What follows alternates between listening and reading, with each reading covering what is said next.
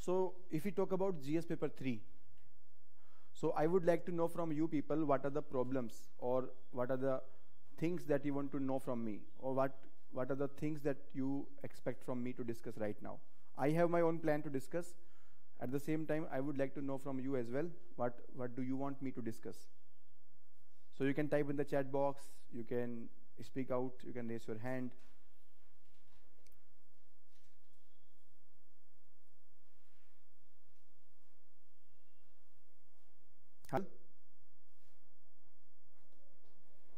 How to prepare GS3 with smart approach? Yes, Ashini, please share. Uh, you are not audible. Can you please share? Yes, it is better now. Okay, sir.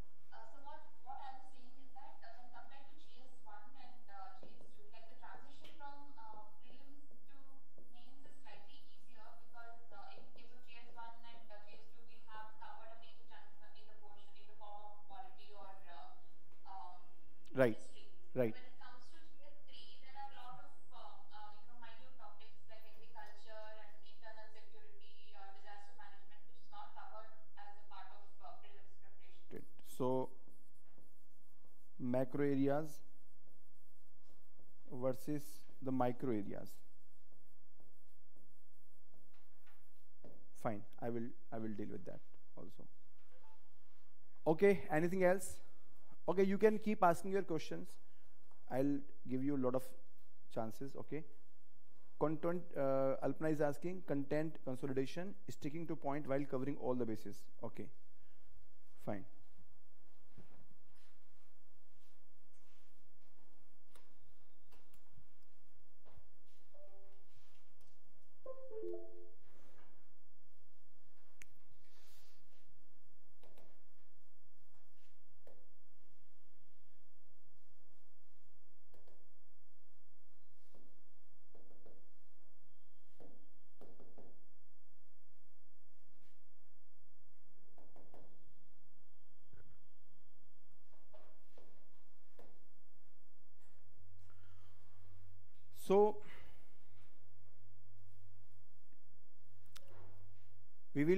Through the previous question analysis, the strategy, what should be the sources, and what will be the approach. Okay? Because mains examination is something which will give you the rank. Okay? So first of all, if we see the broad categorization of GS paper 3,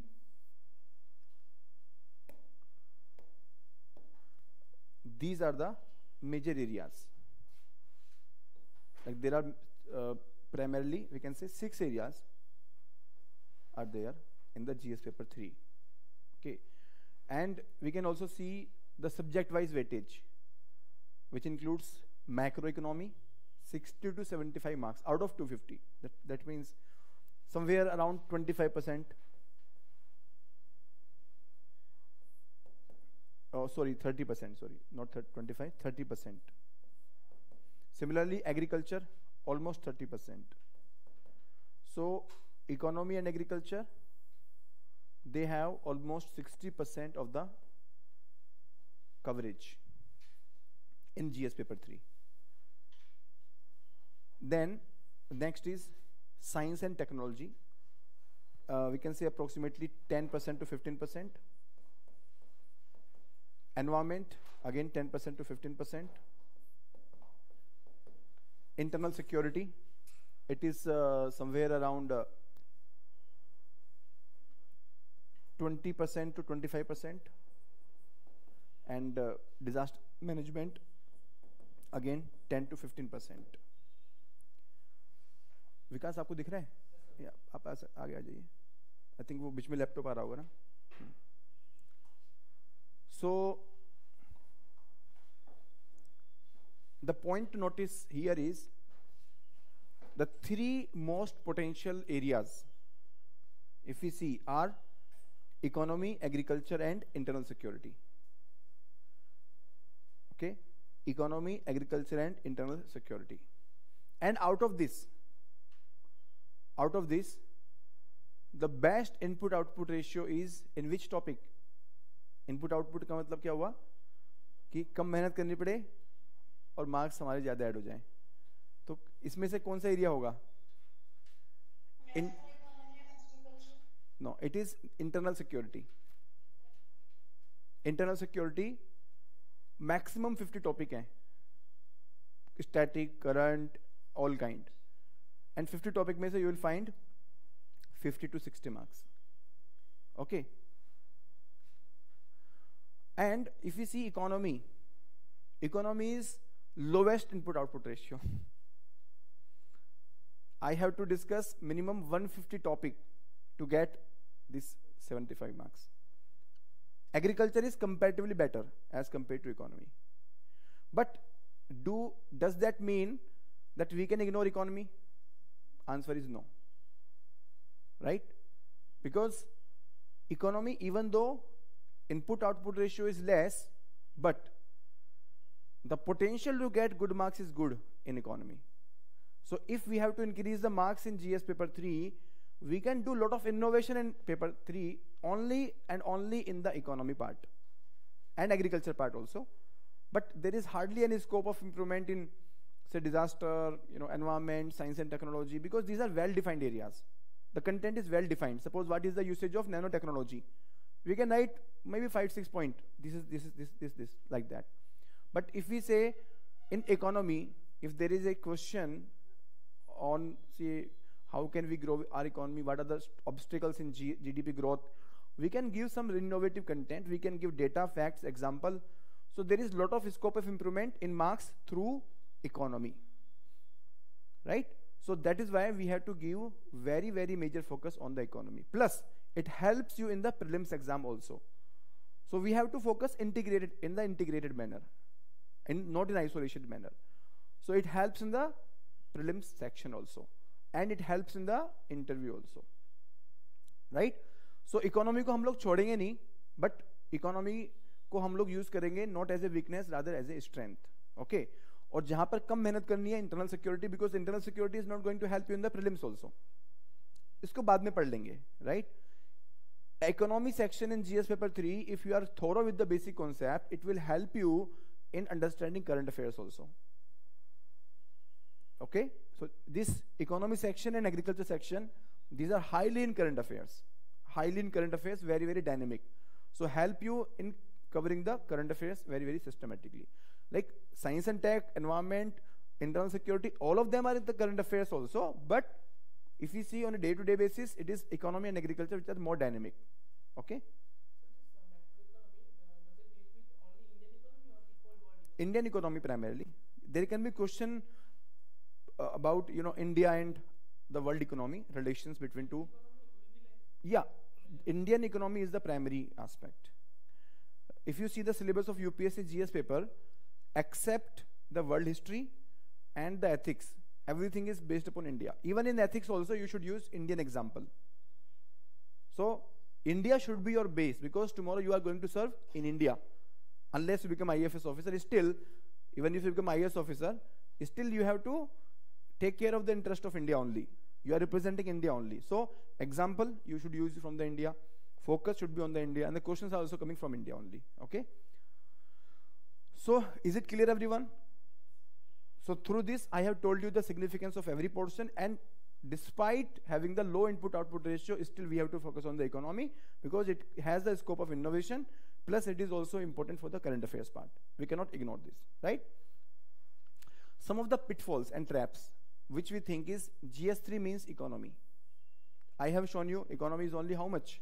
Economy and agriculture together they are 60%, but still 40% is apart from that internal security disaster management environment and uh, science and tech okay so please keep in mind there are multiple chapters and then another trap is that gs3 we can cover from the current affairs this is also very very incorrect notion if you see the previous year question of 2021 2020 19 now 70% questions are static yeah, they have the reference of the current affairs. You can give the example, you can track back them to the current affairs, but the point is you have to prepare each and every aspect of the syllabus in a very, very systematic manner.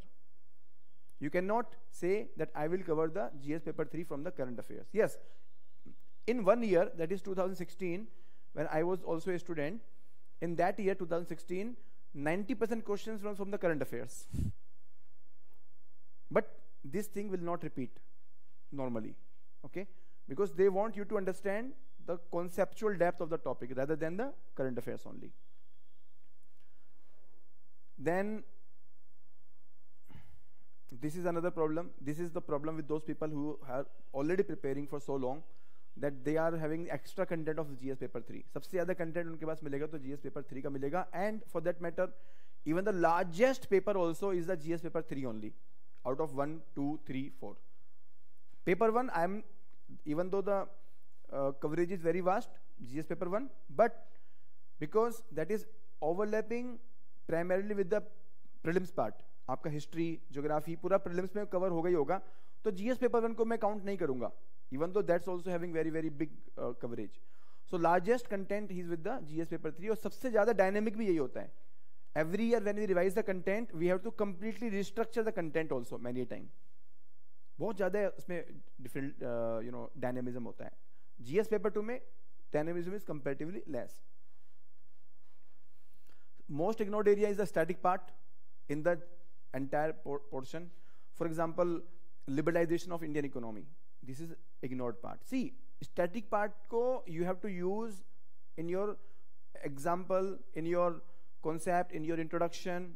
I, I tell you na, this uh, historical evolution based introduction I discussed in my mains answer writing workshop. Historical evolution based introduction. So for that you need this static part. Very, very good understanding. And you know what is the best source for the static part? NCRT. So 11th class NCRT of Indian economic development. That's very good source. There are questions only, not only in mains, but also in the prelims, direct questions. In the mains also, there are direct questions like carrying capacity of ecosystem, which came a couple of years back. So NCRT 11th Indian economic development, this is very important. Please include your, it is as your major source of uh, static part, okay? Uh, like it has another uh, chapters like India, China. You will find a very good comparison between India, China. Planning period, you will get a clarity what happened in the planning period, what were the major, uh, what were the major uh, components, right? And then there are some books like Koshik Basu, Uma Kapila, uh, Mishra and Puri. Primarily, I prefer this book. I use this book in my classes, in my content also. You will find a lot of content from this particular book, Kaushik Basu, the new Oxford Companion to Economics in India. It has two volumes, right? And very, very good, good one. But I don't suggest you to read this because that's a very big compilation. So whatever will be required, we will definitely include in our classes and notes only, right? But it's very good because if you see any current affairs so अभी current affairs में क्या news हैं? Like we have for example disinvestment so we can trace back to the history 1947 and 1991 and now disinvestment okay? Similarly uh, the debate of public versus private sector. Again we can go back to 1947 1991 and now right? Or you pick up any any issue which is there in the uh, news economic crisis any news, right? So we can go back and we can trace back to the history. Agriculture productivity, we can go back to the Britishers' time, right? Food processing, we can go back to the ancient India. So we can we can trace back the roots. Okay. Syllabus. This is very good part of the entire mains preparation. That the syllabus is given in very very good detail. So you should use you should use that for your advantage that you should prepare each and every word of the syllabus in a very very systematic manner. And plus there is overlapping with the other subjects. For example poverty. This topic if you do very well from the gs paper 3 you can answer the questions in gs1 also gs2 also. Even though the dimension in gs1 and 2 is different gs1 mein there is sociological dimension mostly and GS2 mein, there is governance dimension. Why poverty elevation program were not uh, successful like that, okay? But still, unless you are aware about the causes of poverty, the solutions of poverty given by the government, how they have been failing. So this integrated study of poverty in the GS paper 3 will help you in the GS1 and GS2.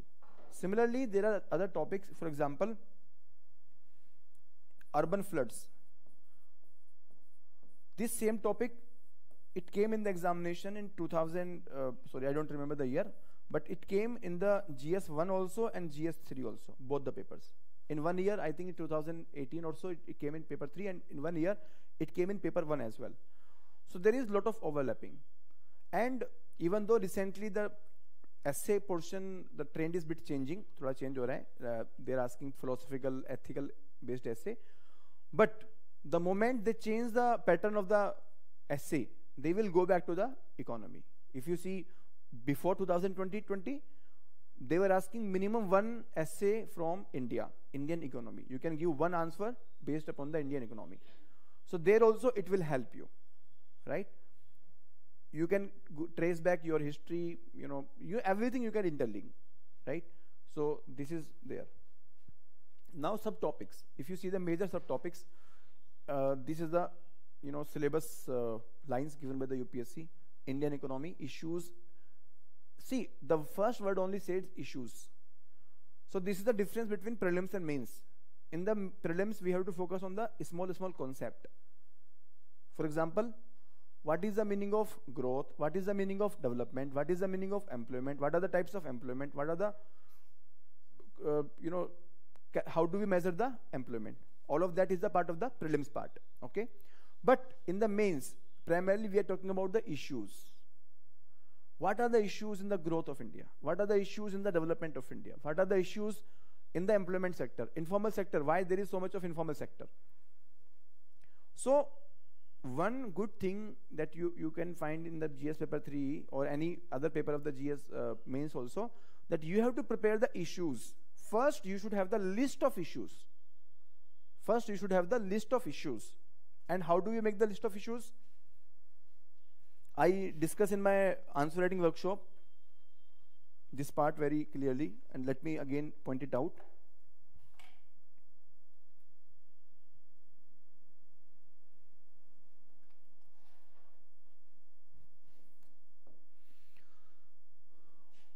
So the step one for smart approach. So some of you were asking about the smart approach.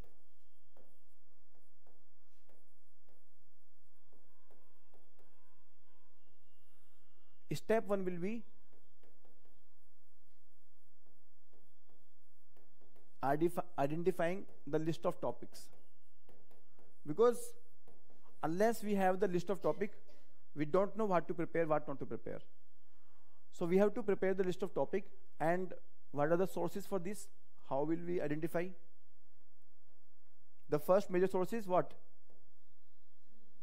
Syllabus. I told you the syllabus is given in a very, very detailed manner. The second major source is what?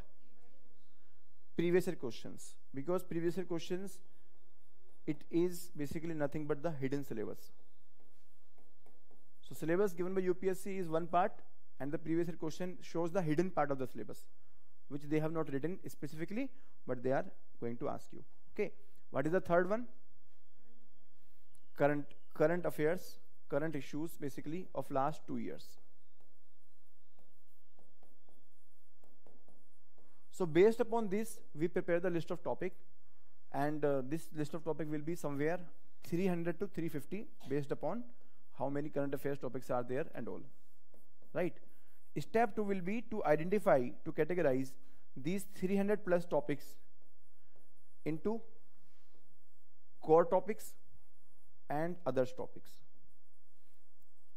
What is the meaning of core topic? Any idea? Which are repeated things. Very good. Example, can you tell? inclusive growth, right? GDP, or in agriculture, you have food processing sector. So since 2013, when we got a new pattern, uh, it's been almost nine years, and you can see a lot of questions, things repeating. We will go back and we will tell you, I will show you how they are repeating.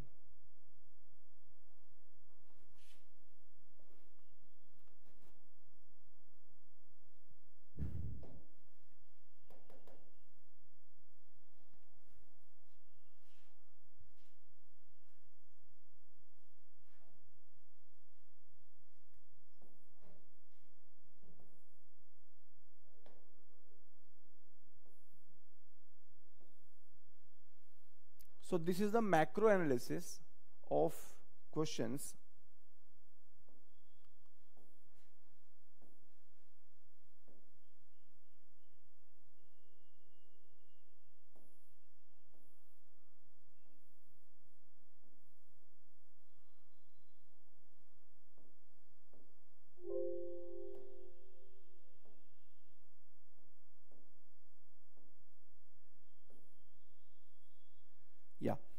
So GDP question almost every year.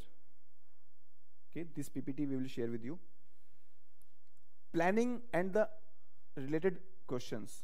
One question regularly. And uh, so this is the analysis of 2021. Okay. Taxation, again a very repeated theme. Like they're asking about GST, tax reforms. Then globalization, very rarely covered, but paper one it has importance. Investment very important. And if you see economic survey in the economic survey they are giving the course chapter on investment right? So economic survey you don't have to memorize or you don't have to you don't have to mug up very uh, in a very detailed manner but it will help you tell the important important topics.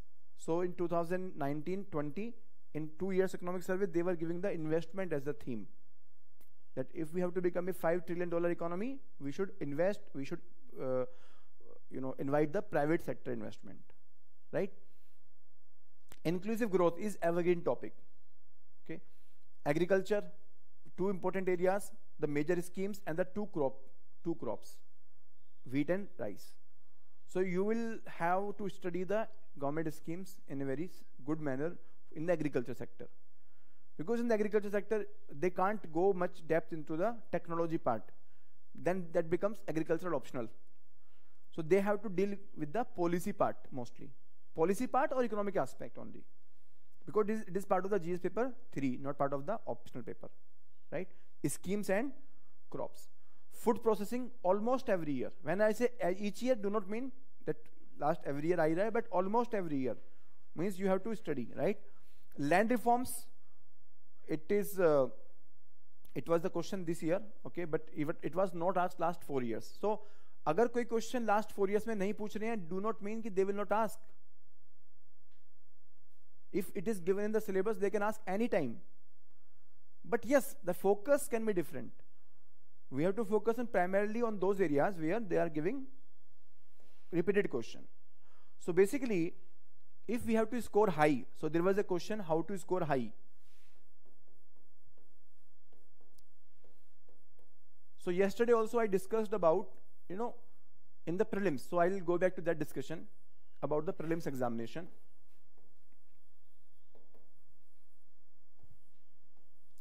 Out of 100 questions, we can categorize the questions into 30 plus 40 plus 30. Okay? So 30 questions are easy and 40 questions are moderate to difficult, we can say and 30 are very difficult. So, now there are two choices. One choice is that you focus upon these part 40 plus 30. So your preparation becomes difficult. Okay? So you are unnecessarily complicating your journey. UPSC becomes difficult because we are focusing upon this part, okay? But I will suggest you focus on the 30 plus 40, easy and moderate part, and less focus on very difficult part because very difficult will always be very difficult. UPSC अपना रंग तो दिखाएगी ना डराएगी ना आपको वरना UPSC exam कौन कैसे आप बोलोगे इसको जब तक यूपीएससी एग्ज़ाम हॉल के हॉल से निकलने के बाद में लोग ये ना बोले कि नहीं नहीं इस बार मेरा क्लियर नहीं हो रहा है। जब तक आपके आँसू ना आ जाएँ, आँसू कब, मैं आई एम सेइंग आप में से कई लोगों जिन्होंने इस बार एग्ज़ाम भी दिया है ऑनलाइन में। आँसू आते हैं लिटरली एग्ज़ाम देने के बाद में। मेंस एग्ज़ाम देने के बाद आँसू आते हैं। इंटरव्यू देने के बाद आँसू आते हैं। इतना यूपीएससी आपको रुला के छोड़ता है। आर यू गेटिंग प्रिपरेशन में तो आता ही है। एग्ज़ाम से पहले तो डर लगता ही है, लेकिन एग्ज़ाम के बाद भी आँसू आते हैं। क्योंकि क्वेश्चन डिफ़िकल्ट वो देंगे ही देंगे। बट फिर भी लोग क्लियर करते हैं ना? फिर भी रैंक आती है ना? और आपके जैसे लोग क्लियर करते हैं। अभी हमने डिस्कशन किया था Umesh Goyal last week rank 388 very simple person very humble person a simple student Nitin sir से हमने इंटरेक्शन किया था लास्ट वीक में। Very simple person just like you and me only so how are they people clearing the exam? Because they are focusing upon initial 30 plus 40 plus a glance and a cursory eye on the last 30 these difficult questions also. जो Facebook में question आते हैं ना, वो question नहीं पूछते।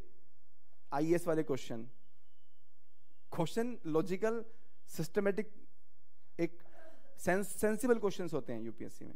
They will not ask insensible questions glamorous questions नहीं पूछेंगे आपसे वो।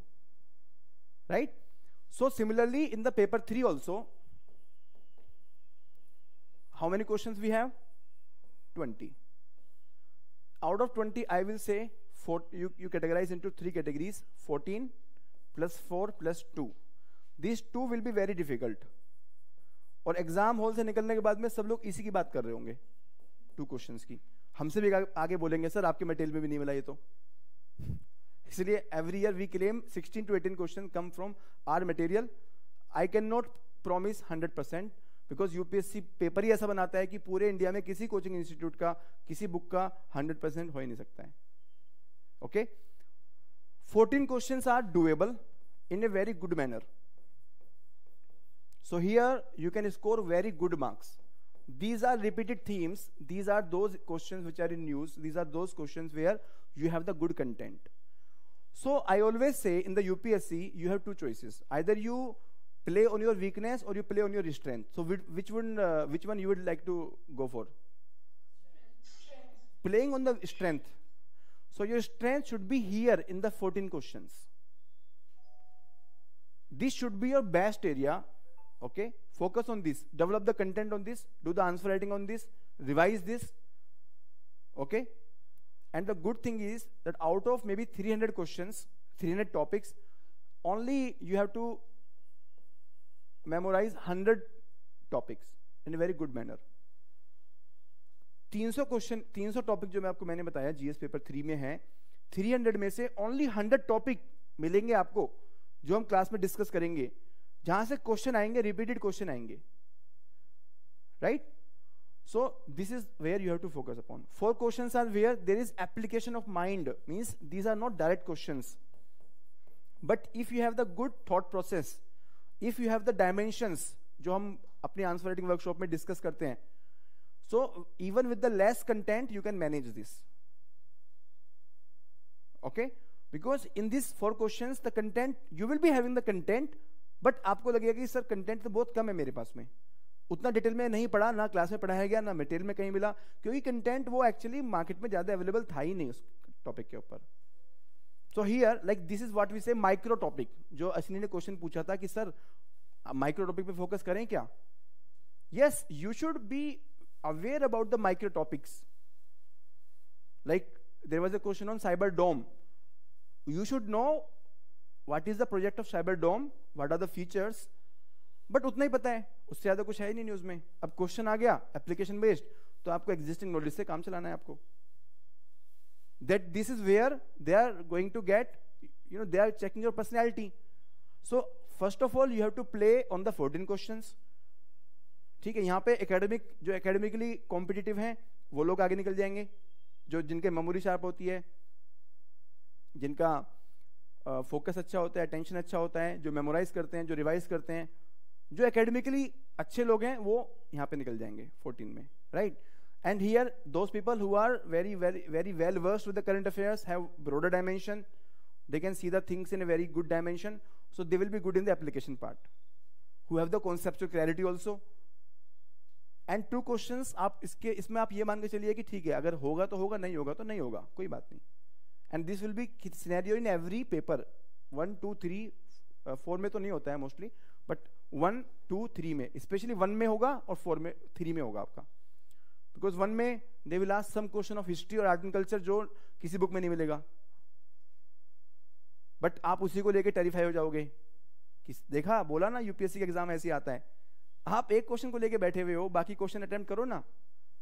उसने तो आपको डिस्टर्ब करने के लिए वो क्वेश्चन दिया है। Are you getting so examination is this examination is not the examination of only knowledge क्योंकि ओनली ओनली नॉलेज का एग्ज़ाम होता है, जो टॉपर्स यूनिवर्सिटी के हैं, वही एग्ज़ाम यहाँ पर टॉपर होते। फिर तो आप लोग आते भी नहीं। अगर आप यूपीएससी टॉपर नहीं हो तो यूनिवर्सिटी टॉपर नहीं हो तो। Right but this examination is the examination of you know emotional intelligence what to leave is also a decision because when tomorrow you become a decision maker a bureaucrat which decision not to take is also a decision right so here also you have to choose what not to which question not to attempt or which question to not to waste time because वहाँ से जो time save होगा ये two questions पे जो time save होगा इसको आप लोग यूटिलाइज कर सकते हैं ना 14 में suppose you are able to save say 15 minutes this is very good 15 minutes में यहाँ पे डायग्राम बनाइए। एग्ज़ाम्पल दीजिए। पॉसिबल है? अच्छा ब्रेन कीजिए, अच्छी स्ट्रक्चर कीजिए। सो दैट अगर यहाँ पे पहले सपोज़ एवरेज मार्क्स 70 परसेंट आ रहे थे या 60 परसेंट आ रहे थे तो now they are able to give 75 percent 65 percent 0.5 percent 0.5 marks be if you are able to increase in 14 questions, that means 7 marks you are getting, which otherwise you can't get in these two questions. और I think ये चीज़ तो हम बचपन से ही करते हुए भी आ रहे हैं कि जो अपना स्ट्रॉन्ग एरिया है उसको नहीं छोड़ना है। Similar thing you have to do in the UPSC also so do not be terrified जब भी आपको कोई बोले ना कि पेपर डिफ़िकल्ट आया है, चाहे वो प्रिलिम्स का है, चाहे मेंस का है, आप ये देखें कि कितने क्वेश्चन डिफ़िकल्ट आए हैं। अगर 30 परसेंट तक क्वेश्चन डिफ़िकल्ट है इट इज़ ओके क्योंकि 70 परसेंट तो है ना अपने पास खेलने के लिए। कंपटीशन तो 70 परसेंट पे हो रहा है 30 परसेंट पे कंपटीशन नहीं हो रहा है। Are you getting don't think कि, सर, ये 30 परसेंट मेरा एरिया वीक है ना, इसलिए मैं क्लियर नहीं हो रहा है. No I do not agree with you you are not clearing the exam because you are not focusing on that 70% area. Somewhere you are diverted. Because जब एक बार क्लियर नहीं करते हैं एग्ज़ाम तब हमें क्या लगता है कि ये, देखिए, ये मुझे नहीं आता था 30 परसेंट क्वेश्चन इसीलिए मैं फेल हुआ हूँ। आपको ये समझ में नहीं आता कि आपका फंडामेंटली क्लियर नहीं था। और एक बार फंडामेंटल क्लियर हो गया तो you will clear prelims and mains back to back I have like first prelims I failed then I went back to the basic और उसके बाद कभी प्रिलिम्स फेल ही नहीं हुआ। हर बार मुझे लगता था कि इस बार तो पक्का फेल हो रहा हूँ, लेकिन नहीं होता था, क्योंकि कॉन्सेप्चुअल क्लैरिटी थी। एग्ज़ाम में क्वेश्चन क्रैक हो जाता था, जब कॉन्सेप्चुअल क्लैरिटी होती है। सिमिलरली मेंस में फेल हुआ, फिर पास होने के बाद फिर रुका ही नहीं, फिर फांसी होते चले गए। So in this examination you have to understand that you have to be very very strong in this basic area which is under you know under utilise part I will say because हमें लगता है कि मैं भी NCERT पढ़ रहा हूँ, मेरा पड़ोसी भी एनसीआरटी पढ़ रहा है तो मैं कैसे आगे निकलूँगा? ऐसा नहीं है। आपका पड़ोसी पढ़ के फेंक दे रहा है। आप उसको पढ़ के उसको आंसर में इंटीग्रेट करो। There is a difference NCERT सब पढ़ते हैं बट एनसीआरटी तो एग्ज़ाम हॉल तक कौन लेके जाता है? This is the challenge are you getting you have to carry to the exam hall आपके आंसर में रिफ्लेक्ट होना चाहिए एनसीआरटी का portion not only in GS paper three even GS paper one definition of secularism जितना अच्छा NCERT में दिया हुआ है जीएस वालों के लिए सोशोलॉजी वालों के लिए तो और भी आपको चॉइसेस मिल जाएँगी। बट जो जीएस वालों के लिए डेफिनेशन ऑफ़ सेकुलरिज्म कम्युनलिज्म जितना अच्छा एनसीआरटी में दिया हुआ है, इतना अच्छा कहीं किसी मटेरियल में आपको मिलेगा ही नहीं। Right so this is the approach to score high, okay? And one question why in 2021 the score was low? Because, again, they asked micro topic and i will show you कि कैस क्या हो रहा है?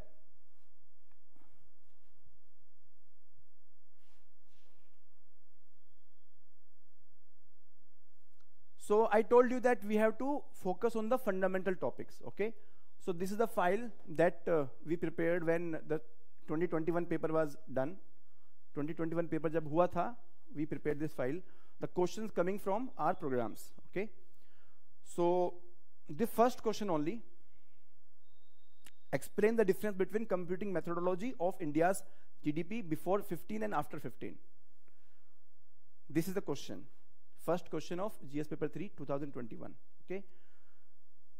99% of the material will not have this content because this is not part of, part of the static portion also and this is not part of the current affairs also but in our material we had this as a separate topic those people who are the part of that year program they they know about this you can go and you can check in your material but the the point is not that our material is good or bad the point is why we kept this because this was a fundamental change which happened in 2015 this was the fundamental change and this is the part of basic part only जब हम GDP discuss करेंगे तो ये आएगा so first question itself was from the basic right and we had this GDP debate आप जाके check कीजिए। हमारा स्टार्ट ही यहाँ से होता है background in 2015 government change base year from this to this जाके चेक कीजिए। 2021 वाले आपके पास में मटेरियल है। अभी इस क्लास में we have some people Sahil है विजय है anyone else I think two people तो I can see this class who are from the एल्जा भी है। We have ELSA also. So three people, you go and you check the material. This is a screenshot of that material only. Point here is not to tell you the importance of our material, but if we have that mindset, that what is the approach of UPSC, if we can crack that, then we can also read the relevant material. So we should know the latest current affairs like economy and GDP, economy and COVID and economy COVID and poverty वो भी पढ़ेंगे and we will also see the fundamental changes which have been happening over a period of time because UPSC has a habit to check the basic concept and basic concept not necessarily from NCERT but also recently जो भी हुए आपके five to ten years में okay next question this is very easy question but checking the conceptual clarity Distinguish between capital budget and revenue budget. Explain the components of both these budgets. Simple concept, but if you have conceptual clarity in prelims, see, in this type of question, in this type of question, every will, everyone will answer. Everyone will answer. Every student, because prelims में सबने पढ़ाई की है और prelims जो clear करके आ रहा है उसको इतना तो पता ही होगा but you have to get an edge in this type of question how to get the edge by adding some example, by adding some facts. So if you have good study of economic survey, you can say in India, which budget is better? I mean, which budget is having more amount? Or you can say, you can tell why capital budget is more important than the revenue budget. Or the difference between two, not only in terms of the component, but also in terms of significance, in terms of what should be the policy of India with respect to capital budget. Capital expenditure we should increase because we are a developing country. Even there is a question that fiscal deficit fiscal deficit is good or bad so fiscal deficit is good or bad is not a absolute question this is a rel relative question the answer is relative if in the fiscal deficit we have more capital expenditure if in the fiscal deficit we have more capital expenditure then it is good because we are a developing country we want infrastructure, we want resources, we want development. We don't want saving the money and not development of people. We want to spend the money, but for the development of country, for increasing the productive capacity of the country. Right so दो things you have to tell here जो पूछी भी नहीं गई है because this is the paper of mains not the paper of prelims so if you simply write the differentiation without analysing without giving your opinion without touching the significant debates the you will not get good marks see आपका friend है, वो लिख रहा है बहुत simple चीज़ें। बस एक सिंपल टेबल बनाया डिफरेंसेस बता दिए, बस लिख के आगे। And you are telling analytical part also who will get good marks you will get good marks very obvious right then next part question number 3 also right how did land reforms in some part of country help to improve the socio-economic condition of marginal and small farmers? Now, if you see, whenever in the in the mains preparation we have any uh, analytical issue, normally हम लोग क्या बोलते हैं problems, Issues क्या हैं? Land reforms में. क्यों unsuccessful रहे? हाँ वो तो हम करेंगे करेंगे but we should also see the positive part so यहाँ पे in the mains classes on see we have this positive impact of land reforms अभी इतना ही कंटेंट आपको बहुत होता है. अगर if you can see this one ना this is good one this is good content good amount of content and this we have taken from the economic survey economic survey में ये दिया हुआ था. And then after negative okay so so, देखिए अभी अगर आप बात करेंगे टॉपिक्स की right if you see the topics first GDP repeated theme है। GDP is repeated theme but question क्या पूछ रहे हैं? Are they asking GDP and COVID no they are asking 2015 का जो फंडामेंटल चेंज हुआ था। किसी को पता ही नहीं है तो मार्क्स तो कम ही आएँगे। Then this question number two किसका था? बजट वाला। आप लिख के भी आ रहे हो लेकिन इनकम्प्लीट लिख के आ रहे हो। मार्क्स तो कमी आएँगे। एंड थर्ड क्वेश्चन किसका था? लैंड रिफॉर्म्स का। आप प्रिपेयर कर रहे हो, लेकिन क्या प्रिपेयर कर रहे हो? कंपोनेंट्स क्या हैं लैंड रिफॉर्म्स के? प्रॉब्लम्स क्या हैं? सॉल्यूशंस क्या हैं? आप पॉजिटिव इंपैक्ट भी तो लिखो। And next question how how to and what extent would micro irrigation help in solving India's water crisis the question is not about the benefit of micro irrigation directly the question is about how it is going to help in India's water crisis okay see i started my journey of teaching in 2017 with the gs paper 3 only because i am a chartered accountant and economy is my favorite area. So economy extension is GS paper 3. So I am doing a lot of research and analysis since last five years. See, there can be a team of large people in other institutes. But the problem with, problem with the large institutes is that there is no synchronized thinking. There are multiple people अलग अलग लोग आते हैं अलग अलग change करके चले जाते हैं इसलिए आप देखेंगे जो भी अदर इंस्टीट्यूट का मटेरियल रहेगा that will be disintegrated unsynchronised this this time they will give another content next time they will give another content but here the same person is having the vision same person is carrying it from the last five years five years ago i'm working on this and before that i was preparing for seven years so wo bhi content maine 2013 se when this there was a change in the uh, syllabus from that time only i am developing the content so i know what can click what cannot click So if you see this question again I we have this particular content given, need of micro irrigation for improving water use efficiency. How the micro irrigation can increase the water use efficiency. This particular dimension we had given, only this particular dimension. Now, अभी लोग क्या करेंगे वो लोग लिखेंगे क्या पता क्या लिखेंगे वो लिखेंगे माइक्रो इरिगेशन कैसे बेनिफिशियल है इंडिया के लिए वो ये नहीं लिखेंगे कि वाटर क्राइसिस को सोल्व करने में क्या हेल्प करेगा बल्कि ये तो एक सेपरेट टॉपिक है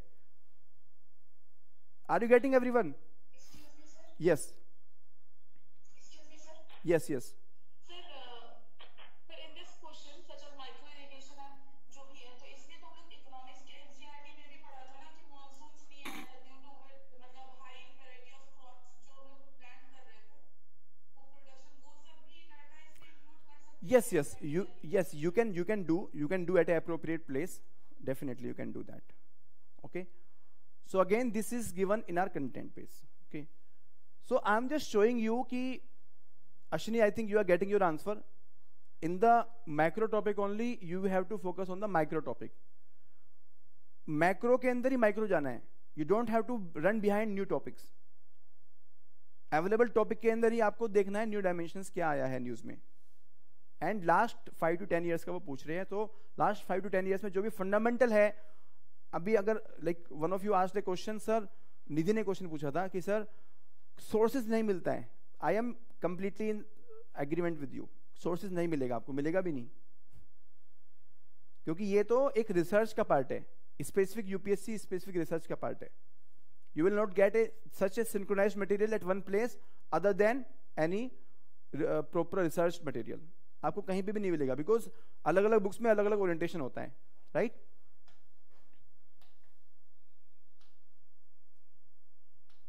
This was completely current affairs okay and this is also you know you can say clearly classes mein discuss hua tha exact this question also money laundering comparatively easier question tha so no, not a problem aap diagram bana sakte hain isme this uh, vulnerability of india with respect to money laundering exact hit tha aapka institutional measures taken by the government for money laundering So my point is you should trust. You should trust the basics. You should trust the fundamentals. Okay. Next question, internal security, cross-border cyber attacks. All these example you can give. So I was trying to answer your question ki micro topic sir kahan se karne chahiye So have you got the answer everyone?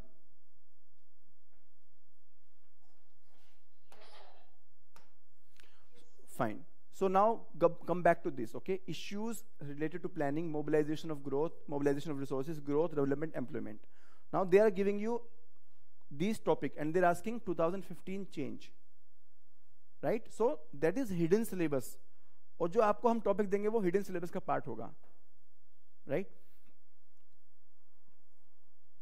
let me show you the topic list जो आपको हमने दी भी है पहले भी दी है मेंस आंसर वर्कशॉप में भी दी है but it will make more sense if we discuss it here.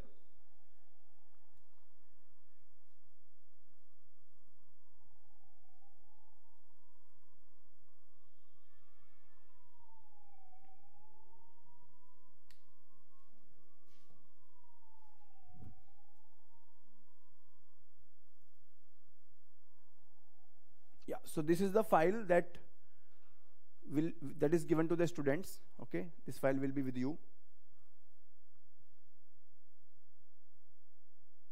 right so यहाँ पे you have this topic given by UPSC this column B represents the UPSC topics UPSC syllabus this is the stated syllabus जो clearly आपको दिखता है right then we have themes and topics these are these are the no further research list of topics like for example if you talk about now right now के India's recent story growth story and india's direct shift from agriculture to industry ठीक है अब इसमें क्या क्या issues आएंगे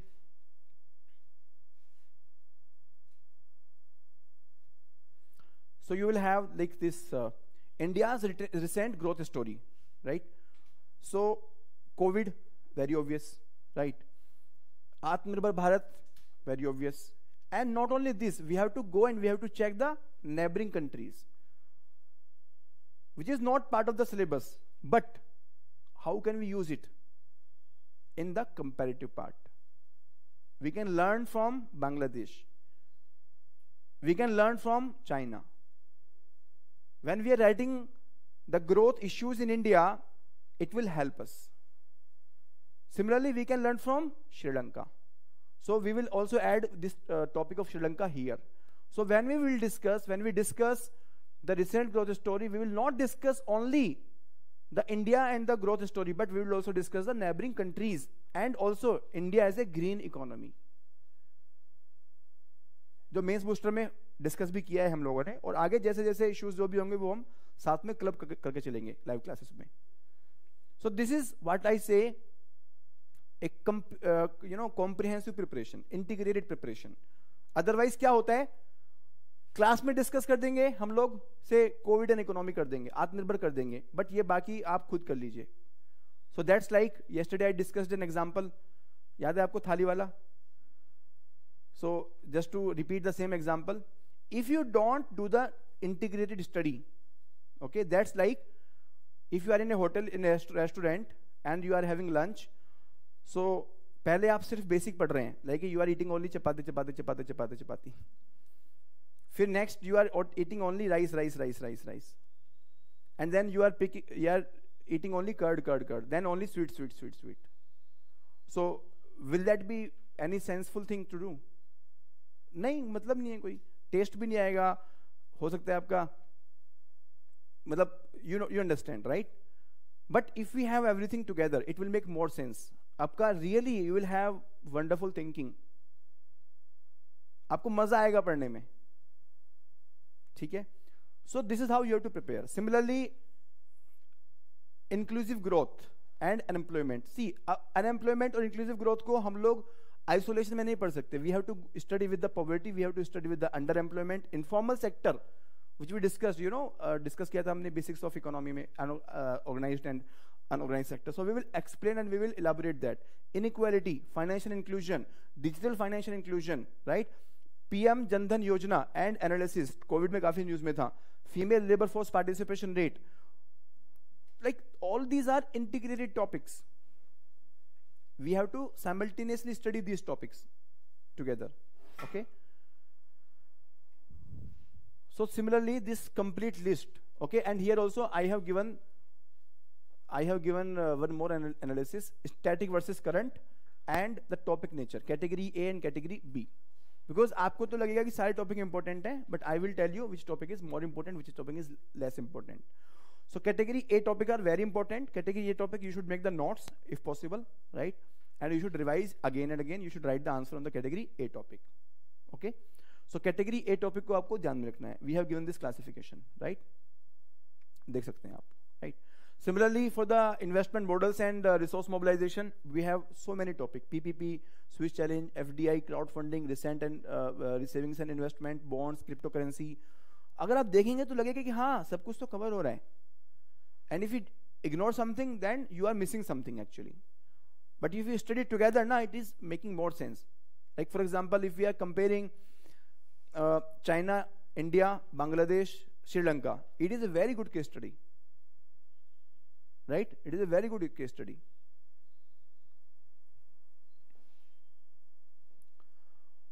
now coming back to macroeconomy this syllabus I am just showing you okay UPSC में सिर्फ इतना ही लिखा हुआ है सिर्फ इतना ही लिखा हुआ है okay so primarily two areas are there which are more important in economy in the paper 3 which is infrastructure and growth and development and third is resource mobilization three areas most of the questions will be revolving around this only infrastructure growth and development and resource mobilization prelims में क्या important है that you already know we have money and banking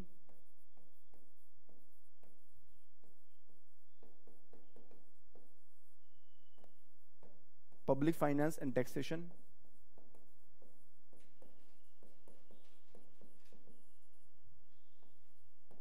external sector inflation and money and capital markets.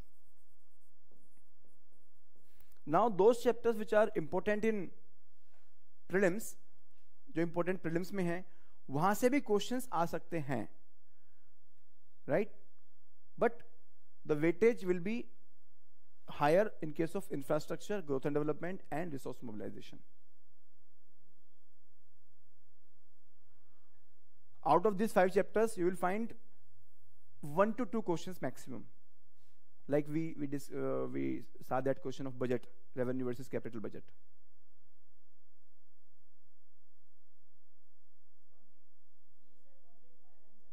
taxation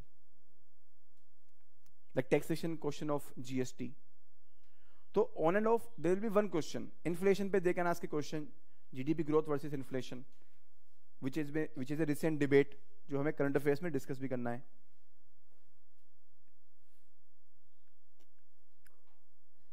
this question again means 21 question very very uh, uh, expected question right 2020 20 this was in news in economic survey में clearly दिया हुआ था। Economic survey clearly it was given V shaped recovery economic survey it was given right this thing I have told you this is a repeated theme seventeen eighteen nineteen twenty every year they are repeating before this there they us potential G D P twenty twenty में. Twenty twenty one में they us this G D P change in the base year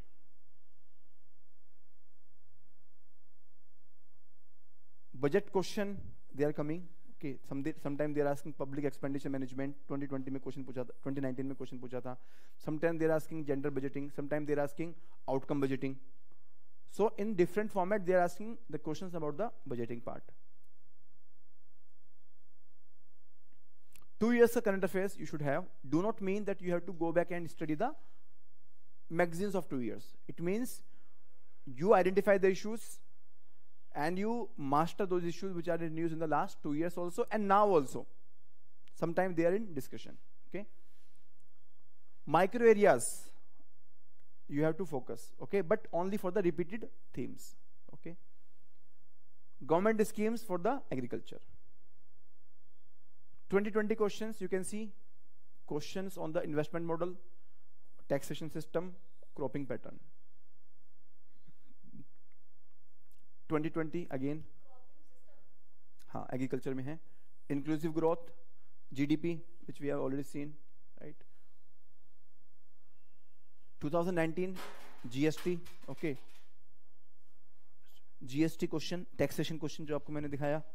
Then growth and inflation and again GDP वाला question आ गया आपका. Inclusive growth and ये budgeting वाला question आ गया जो आपको दिखा भी चुका हूँ पहले में. Agriculture is very important the second area okay. And uh, number of topics are comparatively less. You, there are 70 to 80 topics. When i say topic i include micro topic also right?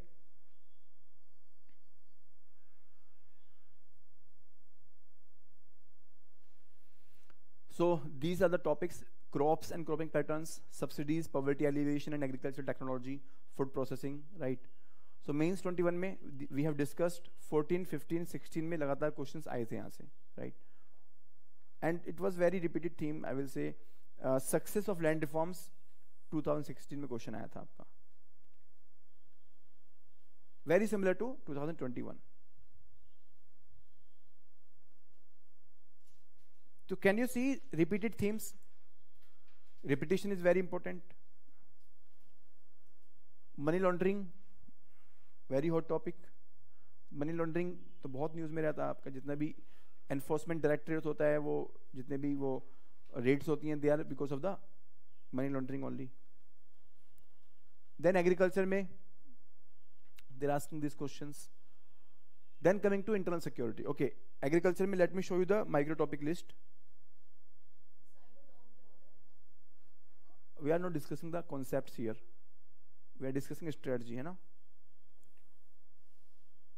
So infrastructure, you can see this is a list of infrastructure topics in economy part. Okay, infrastructure में we have to discuss transport infrastructure. Transport में rail, metro, railway privatization, cars. Okay, then uh, water and air transport, every topic. Then energy sector, every topic. Uh, nuclear, renewable, solar, shale, right? Then uh, development of urban and rural areas. Okay. And current issues in the banking sector money and banking prelims का portion है लेकिन mains में हम लोग क्या पढ़ेंगे demonetisation analysis अभी भी पढ़ेंगे हम लोग क्योंकि 15 वाला क्वेश्चन अभी आ सकता है तो 16 वाला भी तो आ सकता है डिमोनेटाइजेशन 16 में हुआ था राइट सिमिलरली आईबीसी 16 में आया था बट अभी भी न्यूज़ में रहता है तो इसको पढ़ेंगे हम लोग right then this in food inflation very important concept then payment banks okay so these are the topics of money and banking important for the mains so utna hi sufficient hai questions mostly yahan se aayenge similarly taxation mein they will be asking uh, these uh, gst e-way frbm all of this then agriculture agriculture mein these are the topics and subtopics agriculture planning doubling farmers income toxic farming edible oils irrigation system we are looking into micro topic also like UN declaring 2023 as international year of millet so this millets topic become important for 22 and 23 both जैसे news में आ गया तो वो किसी भी attempt में पूछ सकते हैं 22 में और 23 में right so this is the micro topic list from every area animal rearing में there are so many things right PDS में there are so many things Other current issues and internal security again current internal security mein number of issues are comparatively less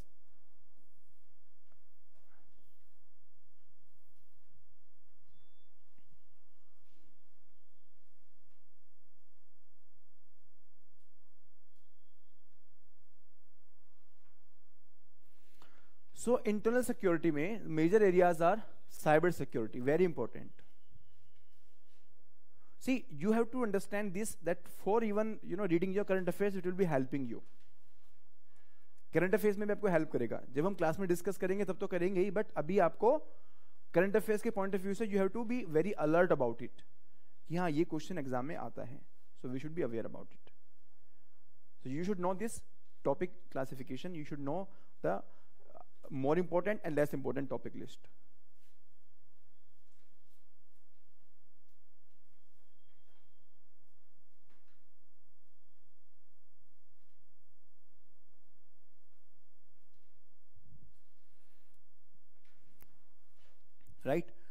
So the questions on cyber dom, data security, cyber attacks, cyber security policy, uh, non-state actors and cyber security, cyber warfare. These are the questions which have already come up in the last previous years, last uh, eight, nine years. Every year one question to mil jata hai cyber security se, directly or indirectly. Nationalism and extremism, very hot topic. So as of now, just keep understanding keep observing and when you see in the newspaper be alert about it यहाँ question यहाँ से आते हैं. Right you आप Jamaat Islami left wing extremism north eastern extremism surgical strike all of these are separate subtopics which are there right border security this is third major area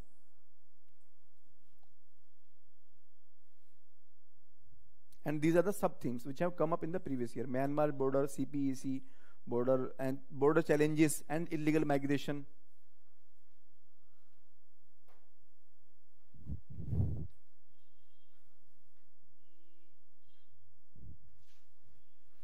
So, what should be the source? Second ARC, internal security, there is a separate chapter. But don't worry, we will include in our classes. You don't have to study separately. IDSA for uh, border issues. You should know the map of northeast very clearly. तो mapping में आप इसको ज़रूर अच्छे से समझिए कि किसका बॉर्डर कहाँ पर है, क्योंकि then only you can understand the issues of north east right and example आप करंट अफेयर से लेते रहिए, जितना हो सकता है right right? 2021 paper money laundering okay cyber attacks again cross border cyber attacks 2021 में क्वेश्चन देखिए आप। Cyber security this question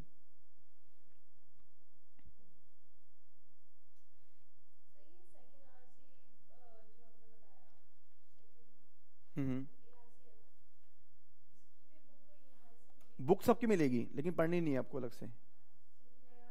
वो रिसर्च, आपको रिसर्च स्कॉलर नहीं बनना है, वो हम आपको देंगे क्लास के अंदर करके। सबकी।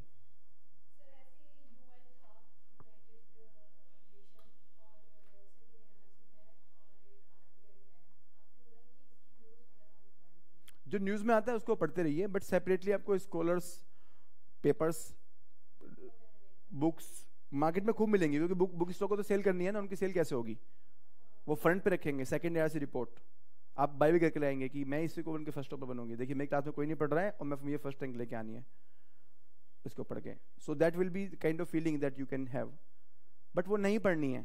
वहाँ से सिर्फ़ रेलिवेंट चीज़ें उठानी है आपको। टॉप टॉपिंग के लिए लगाना है आपको कंटेंट के अंदर इसको। ठीक है? बेस तो तैयार है आपका। एडीआर क्लास के बाद बताऊँगा आपको, ठीक है? So this year you can see cross border cyber attacks and last year you can see different type of cyber crimes कितना फेवरेट टॉपिक है यूपीएससी का?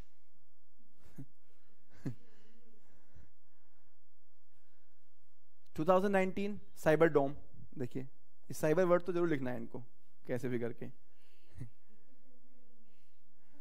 Last year in 2021 they asked about money laundering and 19 they asked about UAPA. So they're have you know trying to ask one act. Money laundering भी एक act है और ये भी एक एक्ट है हम्म so cyber security border management right then border issues 13 14 19 Myanmar वाले पे ही काफ़ी क्वेश्चंस आ जाते हैं environment Three major areas climate change, sustainable development, and pollution. Please keep writing okay notes बनाते रहिए भूल जाएँगे जैसे क्लास से निकलेंगे तो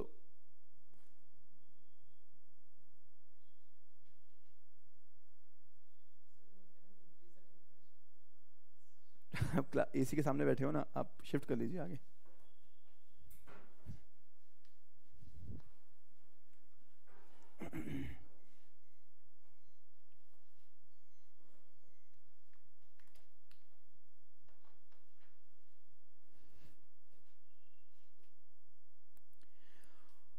So, questions. Coastal sand mining. Okay, this is the question of sand, uh, this sustainable development. Okay, carrying capacity of an ecosystem. ये आपका क्वेश्चन कहाँ से था एनसीईआरटी से जिसने इलेवेंथ क्लास की एनसीईआरटी पढ़ी है वो इसको क्लियर क्लियर क्वेश्चन है वहाँ से हाँ डिजास्टर मैनेजमेंट में भी आता है हाँ बट आपका एनसीईआरटी में दिया हुआ है clearly concept carrying capacity of ecosystem right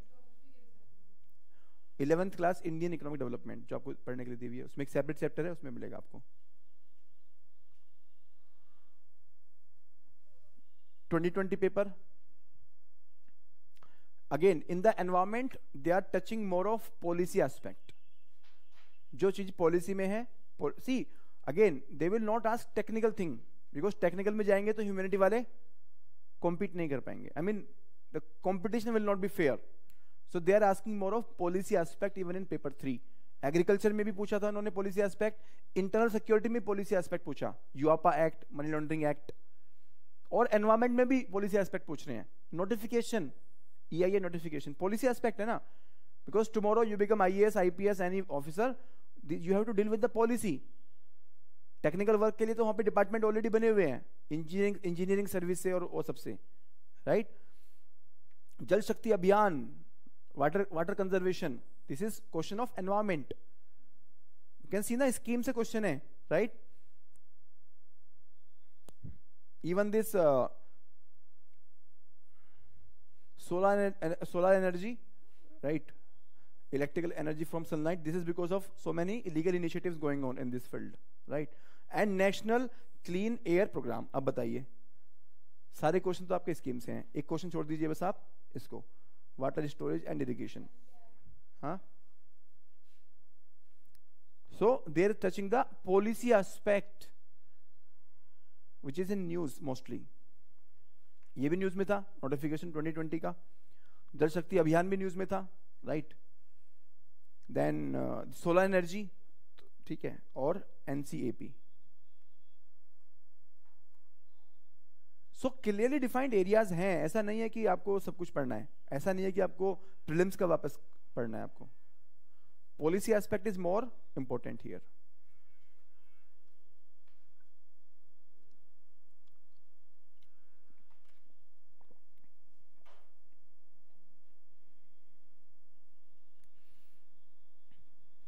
you can add some of the facts from UN reports, some of the indexes from uh, uh, Niti Aayog, from other sources,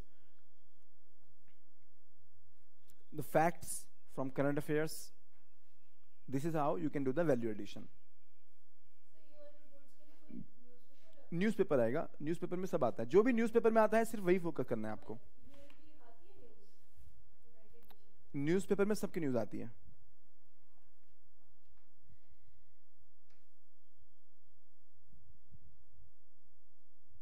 Any questions so far, anyone?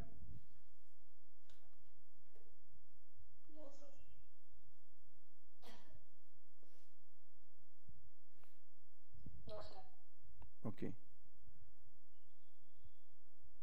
So what are you getting? It's been more than one hour of discussion. One major key takeaway, everyone. Please tell me. Previous year is very important. Okay. Next.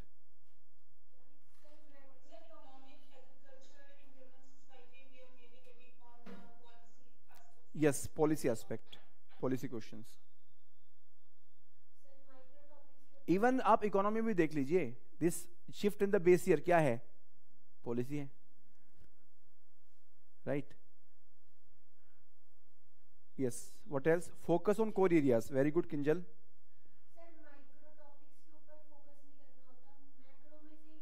yes micro topic बाहर वाले नहीं करने होते। Basic understanding is important very good Ankit yes Rahul identifying the core topics yes repeated repeated topics repeated themes चैतालीस smart approach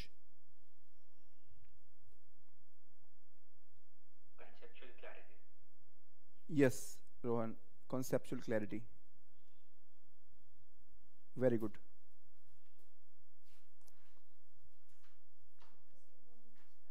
Science and technology. Biotechnology very favorite area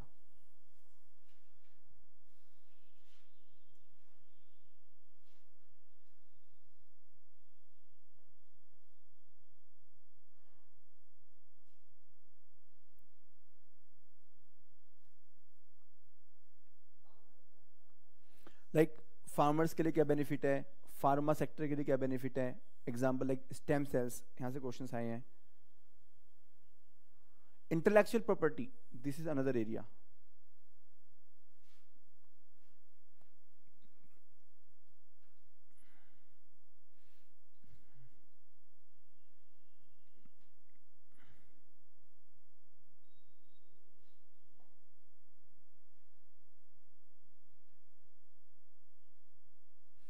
Then achievements of Indians in various sectors.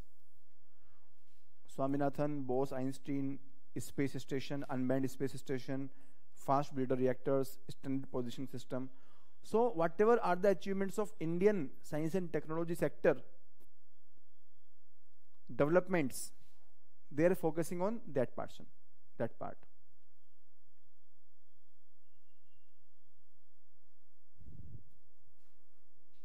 Uh, excuse me, sir. Yes. So recently, uh, I came across a news regarding that uh, a particular medicine is being used, which is uh, completely uh, deteriorating, means completely finishing off the uh, cancer-causing tumor cells. So it will come under this only.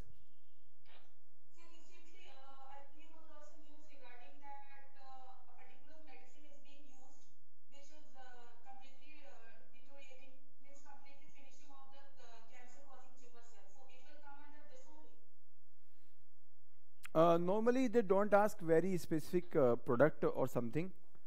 They can ask what are the uh, maybe medical developments in the cancer industry. Yes, sir. It's a kind of uh, achievements only because Yeah, yeah, it- Yeah, it is achievement. It is achievement definitely. But primarily for this micro topic, they won't ask in the mains. They will ask in the prelims about that particular technology. In the mains, they will ask about healthcare. That what government has done or what are the specific achievements in the to alleviate the cancer problem. So somewhere they will not be getting very specific because they don't want to ask the technological details of the things. Thank you, sir. Sir, uh, this uh, medicine has been like uh, it has been experimented in, uh, in US university. So will it will it ask regarding India because in India they will they can ask not a problem. They can ask science and tech- technology they can ask but uh, they mostly use uh, india's achievements. So if there is any indian scientist i don't know about that particular thing. If there is any indian scientist and that has been in news then they they can ask.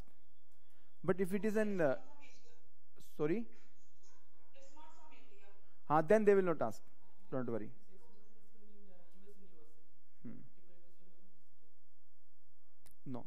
very very rare chance पूछ सकते हैं, मैं ये नहीं बोला but last के जो two question हैं वहाँ पे पूछ सकते हैं, जो मैंने fourteen plus four plus two तो जो जो टू क्वेश्चन है वहाँ पे आ सकता है। अब उसके लिए कोई गारंटी नहीं ले सकता बट उसके लिए आप सब कुछ सुने पड़ सकते हैं।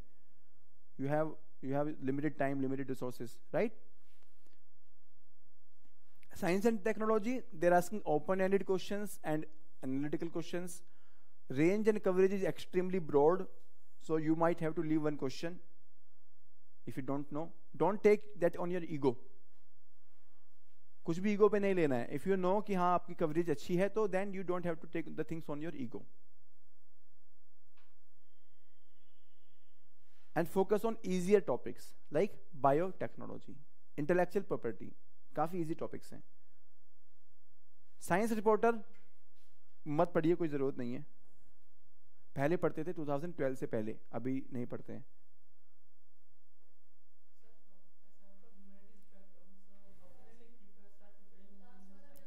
Sorry what is your background हाँ don't don't prepare separately. Prepare current affairs primarily. Focus on current affairs. Plus the basic that i told you prelims में जो हम डिस्कस करते हैं स्पेस न्यूक्लियर डिफेंस बायोटेक्नोलॉजी वो प्रीलिम्स के लिए important होता है। मेंस में आपको मैंने बताया three areas biotechnology intellectual property and India's achievements three major areas they will ask mains में प्रीलिम्स में यस प्रीलिम्स में there are defence nuclear space computer IT but if you are from humanities background do not mean that you have to go and you have to study very weird things at the most you did NCERT and keep following the current affairs and attend the basic conceptual classes of science and technology that is sufficient okay so 2021 question again you can see biotechnology what are the research and developmental achievements in applied biotechnology and how are they going to help in the poorer for the poorer people ठीक है ultimately आप जिस exam की तैयारी कर रहे हैं उसका पर्पस है administration and welfare so they will be asking most of those questions only which are going to help people ये सेम एनालिसिस मैंने 2020 लास्ट ईयर भी किया था इस पेपर के आने से पहले सेम एनालिसिस आज भी सेम एनालिसिस है। ट्वेंटी ट्वेंटी का पेपर भी एक्जैक्टली फिट होता है इसके अंदर। और you can see my video YouTube पर पड़ी हुई है अभी भी। सेम एनालिसिस मैंने भी तीन एरियाज़ बताए थे बायोटेक्नोलॉजी आईपीआर अचीवमेंट और तीनों चीज़ रिपीट हुई। So even if they will change the pattern I am not saying that in 2020 they can't change the pattern और 23 they can't change the pattern they can change the pattern but 70% area will remain same 30% आपको illusion में लाने के लिए डराने के लिए वो लोग चेंज करेंगे। बट आपको उससे नहीं घबराना है right biopharma 2018 mains 2020 nano technology this is technology uh, agriculture 2019 uh, of indians swaminathan on space station okay then pharma uh, you know this uh, ipr हो गया ये आपका। ये अचीवमेंट्स हो गया ये आईपीआर हो गया आपका। अगेन बायोटेक्नोलॉजी एंड फार्मर्स कितना सिमिलैरिटी है? यहाँ पे उन्होंने पूछा था वहाँ पे पूछा था applied biotechnology and poor section यहाँ पे पूछ रहे biotechnology and how it can help the farmers 2019 and 2021 very very similarity so so, वही है 70 परसेंट क्वेश्चन 70 परसेंट एरियाज़ आपके रिपीटेड रहेंगे। 20 में से 14 क्वेश्चन रिपीटेड रहेंगे। आपको यहाँ पे अपनी स्ट्रॉन्ग एरिया बनाना है इसको। You have to focus on this portion just thirty percent पे ज़्यादा फोकस मत कीजिए उसके पीछे मत भागिए। उसके लिए आपको बहुत सारी बुक्स पढ़नी पड़ेंगी बहुत ज़्यादा कुछ करना पड़ेगा और उस चक्कर में आप इसको भी भूल जाएँगे। प्रॉब्लम यह है कि आपका माइंड की capacity even though it is unlimited but still time is limited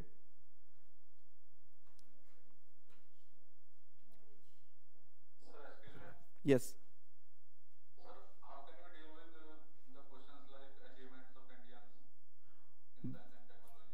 देखिए अगर न्यूज़ में है तो ठीक है, और नहीं है तो फिर इसको.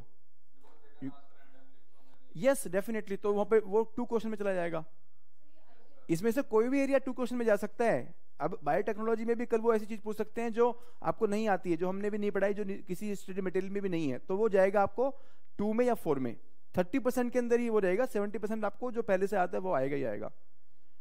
क्योंकि वो आपको आपको कहाँ से जज करेंगे? अगर आप सपोज़ उन्होंने डिफ़िकल्ट पेपर दे दिया so if they are giving the difficult paper can they जज you no because most of you will not be writing the answer so you can B जज only on that question only on that answer which you are giving so they want you to write they want you to write seventy percent question they want you to to attempt 70% question in the prelims also 80% questions rather they don't want you to, you to discourage by not writing in the interview also they will ask the questions from your profile because they want you to answer because अगर आप answer ही नहीं करेंगे then how will they know your quality और your worth और your personality right so they will not not ask more than 20 to 30 percent question which are not there in the syllabus or not which are completely unrelated so logic है हर चीज के पीछे right Yes, sir. Sir, like, uh, in a some, some Sir, reason, will it be uh, wise yes, for in a- uh, like preparing for any uh, famous जितने भी scientist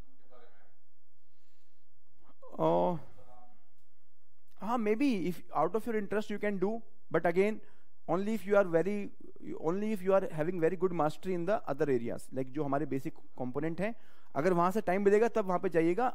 Input output ratio is very very bad in those things तो mains exam देने के बाद में फिर कीजिए वो रिसर्च कि अगर नेक्स्ट ईयर रैंक इंप्रूवमेंट करने के लिए ज़रूरत पड़ेगी तो काम आएगा। तो टाइम मिलता नहीं उतना। क्योंकि देखिए, एक सिंपल बात है विजय, आपने बहुत अच्छा क्वेश्चन पूछा but I will say like one choice you have is that you start researching on these unexplored topics. And another choice you have is revising and mastering your optional subject. So which one you will prefer? Yeah so optional is going to give you good marks. Optional is having high input output ratio. If you have good answer in the optional it can give you very good marks. So ultimately our objective is not to get maximum marks in gs paper 3 only. We have to maximize the overall score. So you have to be emotionally intelligent इसलिए मैंने बोला कि ये knowledge का exam नहीं है emotional intelligence का exam है. मैं आपको बताता हूँ वर्ल्ड हिस्ट्री नहीं पढ़ेंगे तब भी चलेगा, अगर आप इमोशनली इंटेलिजेंट हैं. अगर इमोशनल इंटेलिजेंट नहीं है तो आप पढ़िए क्लास लीजिए थर्टी क्लास अटेंड कीजिए वर्ल्ड इकोनॉमी की वर्ल्ड हिस्ट्री की. बहुत सारी बुक्स आती है, वो पढ़िए आप. एग्ज़ाम में तो एक ही क्वेश्चन आएगा. या तो आप इसको क्रैक कर पाएँगे क्रैक करेंगे तो एनसीआरटी से कर सकते हैं और नहीं तो आप किसी भी बुक से क्रैक नहीं कर सकते उसको। सो so, इसी को बोलते हैं इमोशनल इंटेलिजेंस अल्टीमेटली आपको पता होना चाहिए कि हमें मैक्सिमम करना है अपना स्कोर यूपीएससी मेंस में। आईएएस वहाँ से बनेंगे। एक पार्टिकुलर क्वेश्चन को आंसर करने से या ना करने से नहीं बनेंगे हम लोग। हमारे पास लिमिटेड टाइम है लिमिटेड एनर्जी है उसको हमें मैक्सिमम मार्क्स कन्वर्ट करने में यूटिलाइज करना है। सो so, जो टॉपर्स होते हैं they are not more intelligent than you but they are more choosy in their focus energy. Right? Without ignoring the others. I'm not saying that you start ignoring other chapters but you have to focus on certain more important aspect compared to others.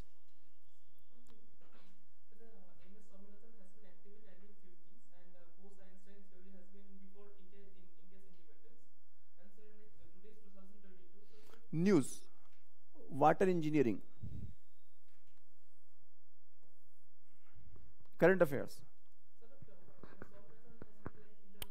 been like but अभी बात कर रहे हैं ना स्वामीनाथन की, उनकी achievements उनके जो मे बी किसी आर्टिकल में लिखा होगा। I don't know exactly I don't have the knowledge I don't recall कि एग्जैक्टली करंट अफेयर्स में था या नहीं था बट चांसेस हैं कि करंट अफेयर्स में हो सकता रहा हो ये लास्ट वन और टू ईयर में choose that which which one of the scientists to leave and which one to that is the question i answered now you don't have to research on that that is that research leave on us if you get the question very good don't get the question then last two questions में आपको manage हो जाएगा you focus on the 70% portion which is a surety to come biotechnology surety है border management surety है तो वहाँ पे play करो ना आप वही तो मैं बार बार चिल्ला रहा हूँ आपसे थर्टी परसेंट में बार बार क्यों चले जाते हो आप क्योंकि माइंड तो वहीं पर लेके जाता है आपको मे बी हाँ मे बी मे बी हाँ वो भी हो सकता है। So I don't know exactly there should be there may be some current affair relevance also I don't know exactly I need to check it this is a factual part I will check it but otherwise I am just saying कि आपको इससे emotionally attach नहीं होना है। ठीक है? यही तो आपको डाइवर्ट करने की कोशिश कर रहे हैं। अब मैं ऐसे करता हूँ। Just see my finger I am just pointing it I am pointing to what मैं पॉइंट कर रहा हूँ ट्यूबलाइट को। और आप मेरी उंगली पे अटक गए हो। Just have this analogy be emotionally intelligent या क्वेश्चन नहीं आएगा तब भी काम चला लेंगे, कोई बात नहीं। मेरे तो 14 क्वेश्चन स्ट्रॉन्ग है ना। ठीक है अदरवाइज़ ये एक क्वेश्चन की चिंता आप इसके चक्कर में 14 को भी नहीं कर पाओगे। या तो अपने टीचर पे डाउट करोगे, स्टडी मटेरियल पे डाउट करोगे, अपने ऊपर डाउट करोगे, उस चक्कर में बुक स्टोर पे जाओगे, वो बुक स्टोर वाला को चार बुक थमा देगा। और फिर आप डिसाइड कर लोगे कि ये एक्चुअली मेरा बेस्ट अटेम्प्ट नहीं है, मेरा बेस्ट अटेम्प्ट नेक्स्ट ईयर होगा। मम्मा, मैं एक साल और चाहिए मुझे। और ये नहीं पता कि next year it the journey is going to be very difficult every year journey becomes more difficult अगर आपको बता दूँ मैं। आपकी इमोशनल सपोर्ट कम हो जाएगी फैमिली से वो बोलेंगे कि पहले तो हमने बोला था इसको, अब ये खुद ही लगा हुआ है। आप छोड़ना नहीं चाहोगे, लोग चाहेंगे लोग चाहेंगे कि छोड़ दो आप। ये होता है आफ्टर टू अटेम्प्ट जो लोग हैं, वो समझ सकते हैं इस चीज़ को। सिर्फ़ टीचर चाहता है कि आप अच्छे से एग्ज़ाम दो। इवन आपका थर्ड अटेम्प्ट फोर्थ अटेम्प्ट है। क्योंकि टीचर को एक एक वो होता है, लालच होता है कि आपका रिज़ल्ट आएगा तो हम भी प्राउड होगा। हम बोल सकते हैं आपको पेरेंट्स को भी होता है बट पेरेंट्स भी कहीं ना कहीं होप लूज करने लगते हैं। उनको लगता है, हमारा बच्चा तो बहुत मेहनत कर रहा है, लेकिन लक साथ नहीं दे रहा। कोई बात नहीं बेटा, कुछ और कर लो.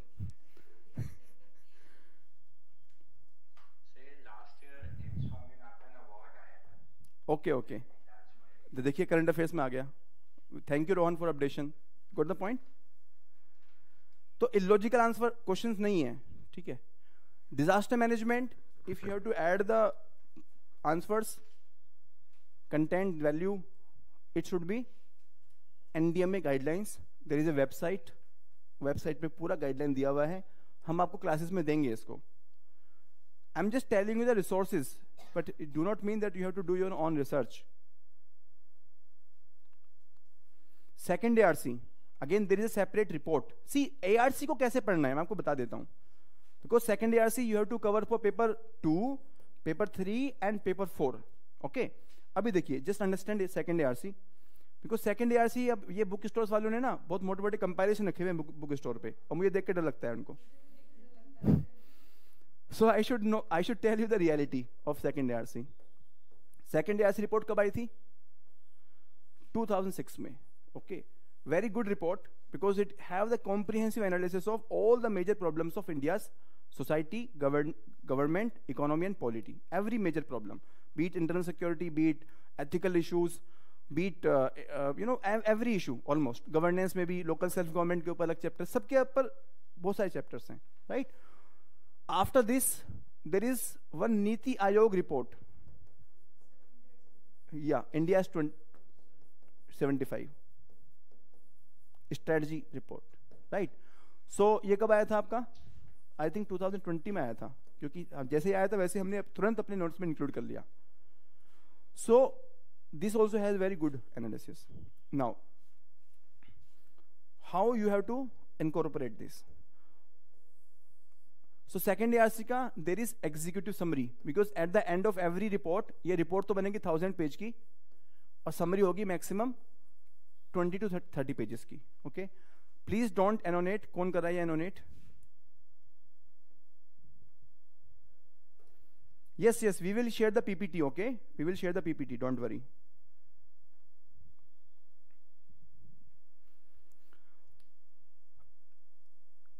uh, so how you have to proceed in the second arc so in any report please understand in any report चाहे वो करंट अफेयर्स में हो चाहे वो सेकेंड ईआरसी हो चाहे वो नीति आयोग हो चाहे वो इकोनॉमिक सर्वे हो बजट हो कोई भी रिपोर्ट की अगर बात करें हम लोग ठीक है so it has two kind of points. One is common points. Suppose anil kakodkar committee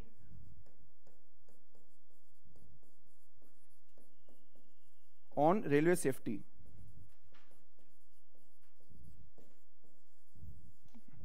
So it will have two kind of points which are general which are very uh, very much obvious everyone knows about it and then there are specific point. So you should focus more on the specific point which have not been pointed out earlier by any other committee. Similarly second arc mein so common point and specific point okay? Similarly second arc mein there is a report on disaster management. So in this report there are some very good suggestions. So actually i remember my journey as an aspirant so when I you know I had two optionals 2012 में मेरा mains exam था first so I had two optionals public administration and commerce and accountancy so in public administration second ARC is even more important क्योंकि वहाँ पे तो बहुत सारी चीज़ें यहाँ से मिल जाती हैं कंटेंट मिल जाता है। So I have to cover every executive summary first year में प्रिलिम्स क्लियर नहीं हुआ था तो प्रिलिम्स जब क्लियर नहीं हुआ तो उसके बाद में मेन्स पे काम किया पूरा।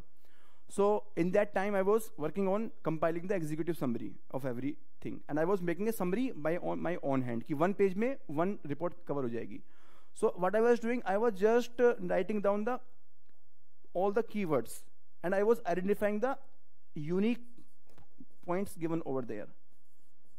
See, exam में आप लोग कितना इंकॉर्पोरेट कर सकते हैं सेकेंड ईआरसी से मैक्सिमम टू पॉइंट अगर डिजास्टर मैनेजमेंट के ऊपर क्वेश्चन आता है तो they will not ask what was the recommendation of second ARC आज तक नहीं पूछा, ना पूछने वाले हैं because second ARC is not the syllabus of UPSC it is it is a reference report it is a reference report value addition content right so they will not ask second A R C recommendation on disaster management they will never never ask this question at the most they will ask what India should do to overcome the to और to manage the disaster in the best possible manner maximum एक question पूछ सकते हैं। So for the, for answering that question you will have to take content which is very basic content which you have already covered in your material plus second ARC you have to use as a reference that second ARC also recommended point number one number two number three अब वो जो three point होंगे वो unique होने चाहिए जो सिर्फ़ second ARC ने ही बोले थे जो किसी ने उन्हें आज तक बोला ही नहीं for example one percent of the fund one percent of the budget should be kept for the disaster management number two there should be integrated management at the city level at the district level like the police officer the administrative officer and the irrigation department officer they should be collaborating with each other and 1% of the indian society should be part of the uh, disaster management volunteering force अभी भी मुझे याद है exactly exactly same मुझे अभी वो page भी याद है वो exactly I have that page in my mind क्योंकि मैंने सिर्फ़ कीवर्ड लिखे थे. अब एग्ज़ाम में उसको लेके आ गए हम लोग. पबेड में मेरे बहुत अच्छे मार्क्स आए. बट उस साल पबेड की लक खराब था.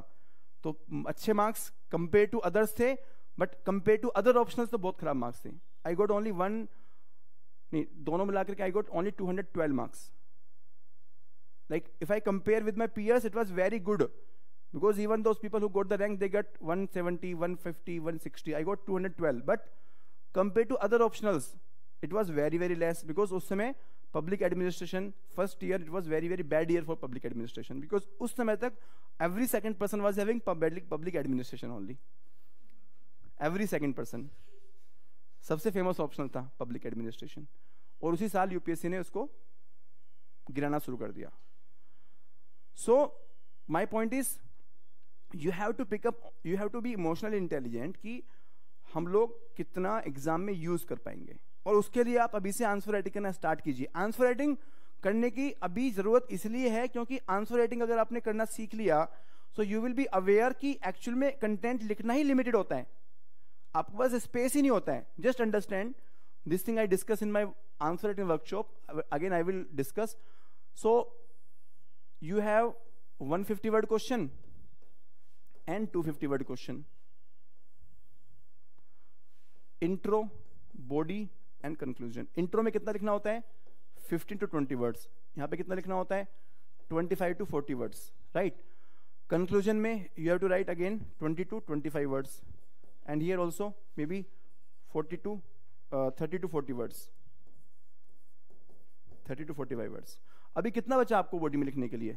Here you can write maximum how much may be hundred and ten to hundred and maximum hundred ten ten words right और यहाँ पे कितना लिख सकते हैं? मैक्सिमम टू हंड्रेड वर्ड्स इतना ही कंटेंट आपको चाहिए कोर एरिया को एड्रेस करने के लिए. Now for this content again in the body part you have to address at least two parts mostly mostly two parts होते हैं क्वेश्चंस के. आप देखेंगे तो there are two sub questions given in every topic So for, for one question, for one topic, how many words you have to write? 50 to 60, 50 to 60. अभी आप मुझे बता दीजिए कि 50 टू 60 वर्ड लिखने के लिए कितने सेंटेंसेस आप लिख सकते हैं? Four to five four to five sentences और four to five point you should know for every sub topic और maximum in case they're asking only one sub topic here then only you can write maximum seven to eight point और एक mind की आपको मैं एक working बताऊँ? एक mind हमारा किस तरह से वर्क करता है? So we have two choices इसको कोई अप्लाई करके देखना अपने माइंड के ऊपर।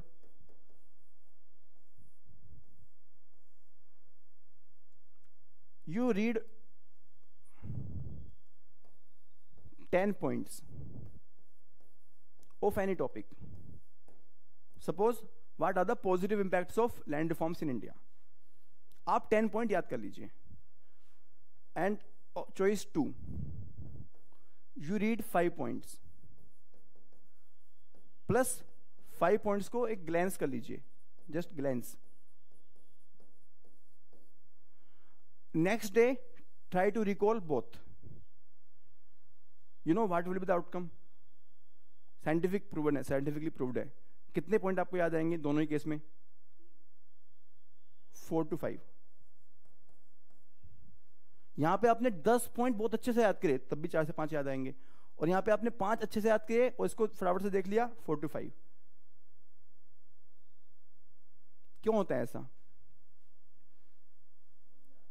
बिकॉज़ यहाँ पर आप, आपका रिटेंशन कम हो रहा है। टेन पॉइंट से आप डाउन जाओगे। और यहाँ पर, जहाँ पर आपके पाँच पॉइंट आपने याद किए, आपको डर लग रहा था कि पाँच पॉइंट छूट ना जाए। तो पाँच आपके याद रह गए इस चक्कर में। तो you have to study optimum not extra because extra पढ़ने से भी आपको या तो ऑप्टिमम ही रहना है माइंड में आपके। और सेकेंडली मैंने आपको दिखा दिया कि आपको स्पेस भी नहीं है आपके एग्ज़ाम में। यहाँ पे 200 है। आप एक सब टॉपिक में कितना कर सकते हैं? पहली बात तो sub topic includes one is given sub topic and one is hidden sub topic hidden भी होता है सब टॉपिक जो मैं आपको आंसर राइटिंग में बताऊँगा। हिडन होता है लाइक वे फॉरवर्ड जो हमें लिखना होता है। अगर कोई प्रॉब्लम पूछी हुई है तो वे फॉरवर्ड लिखना ही लिखना है आपको। जो कि कंक्लूजन का पार्ट नहीं है जो कि बॉडी का पार्ट है। सो so, 200 में से 70 to 80 word 70 to 80 word and 40 to 50 word three sub topics हैं। 70 वर्ड में how much content you can write how many lines five to six sentences maximum ये मैक्सिमम बता रहा हूँ आपको मैं। विद एग्ज़ाम्पल विद फैक्ट सब मिला करके। सो so, आपके पास में फाइव टू सिक्स लाइन से याद आएगा you don't have the space if you have the five good points five good points then you can write the answer. So never run behind the more content. Always check that do I have the good five and six point. If we if you have, no need to read that uh, need, no need to read that topic again and again from the different sources. And you should be happy कि हाँ answer में जाके लिखाऊँगा अगर आप देखें academic exam में तो ऐसे होता है एकेडमिक एग्ज़ाम भी तो ऐसे होता है यूनिवर्सिटी एग्ज़ाम स्कूल एग्ज़ाम कि हम लोग कुछ मिनिमम कंटेंट याद कर लेते हैं और उसी से आंसर राइटिंग करते हैं। तो यहाँ पर भी आपको ऐसे करना है आपको। Right so and you have to structure you have to structure this content in a systematic manner, which i keep telling in my answer writing workshop eight dimensions जो मैं बताता हूँ आपको।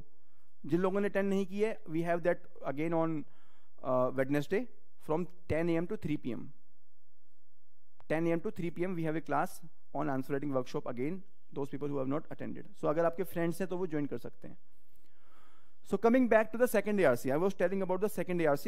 You don't have to remember the report. You don't have to remember everything. Only four to maybe two to two to four point on every dimension. जैसे कि social audit RTI e governance सब चीज़ के ऊपर हम लोग class में discuss करेंगे। पेपर टू का जो डिस्कशन होगा। सिर्फ़ three to four point is sufficient क्योंकि be practical be emotional intelligent emotional intelligent okay any question so far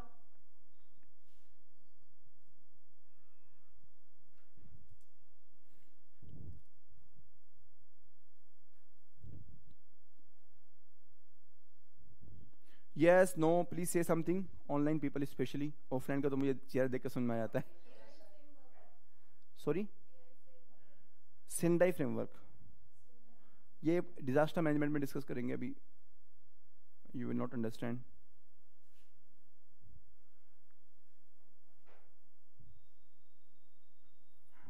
okay Himachitra thank you Sahil good questions 2019 2020 questions COVID 19 pandemic again आप देखेंगे तो they're asking again government measures ना? Policy aspect है। पहले reactive uh, approach था अभी proactive approach है। Policy aspect है okay so you have to prepare every content in 360 degree manner this is the smart approach specially जो आपके repeated themes हैं, उसको बहुत अच्छे से कर लीजिए।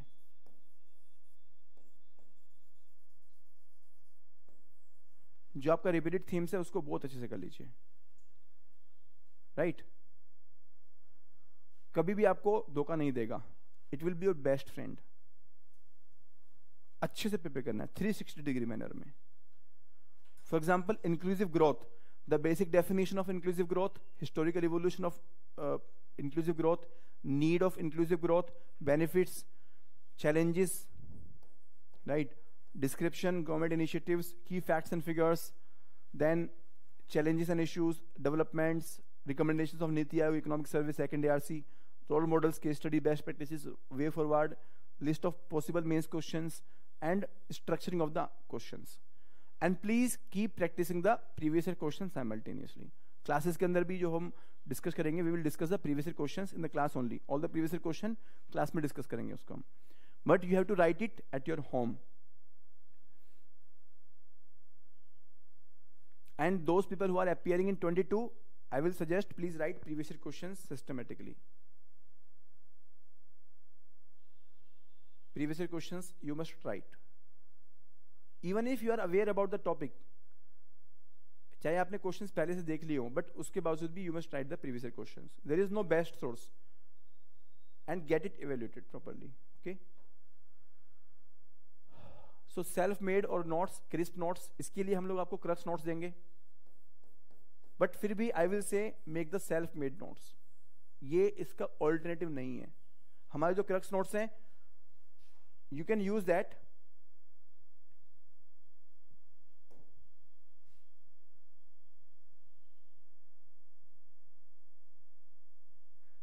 हाँ मेंस के लिए डायरी एक आप यूज़ कीजिए आंसर राइटिंग के लिए।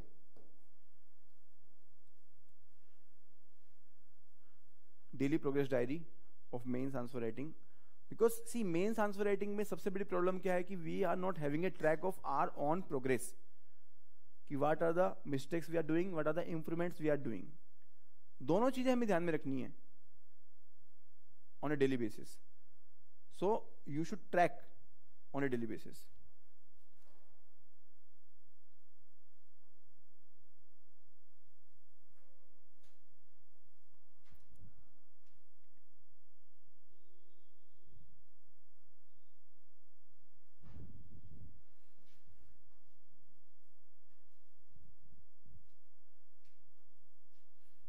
one topic one page this is the you know अगर आप इसको कर लेंगे the main features of this notes which we have been releasing from last you know three years 18 में I started 18 19 20 21 but this year we are taking it to the next level making it more comprehensive more relevant right so like for example covid and economy सो जो भी मैंने आपको बताया that how you have to work suppose you have this content with you you have facts with you data okay reports name with you then you have various dimensions like impact on workforce covid and inequality covid and healthcare covid and tourism overall impact the way forward okay here also you are integrating the dimensions which we discussed in the answer writing workshop the immediate the medium and the long term dimension Right? Government initiatives and then some quotation, जो बताते हैं हम quotation based conclusion. याद है आपको? Answer writing workshop में मैंने बताया था ये सब चीज़ें? So practically we have to implement that through answers poverty the topic of poverty okay what is poverty ये है 360 डिग्री नोट का एग्जांपल कि आपको ये नोट्स आपके पास में होना चाहिए। अगर ये नोट्स नहीं है तो you are missing something okay what is poverty statistics of poverty right Tendulkar committee ने क्या बोला था? अभी रिसेंटली कितना स्टेटस है? ग्रोथ एंड पॉवर्टी ओके 1992 से 2004 तक कितना हुआ? Growth rate and versus decline in poverty okay types of poverty absolute and relative poverty then causes of poverty economic factors social factors geographical factors environmental factors political factors right consequences of poverty economic consequences political consequences social consequences and here also inside this you have to use the keywords जैसे कि example demographic bomb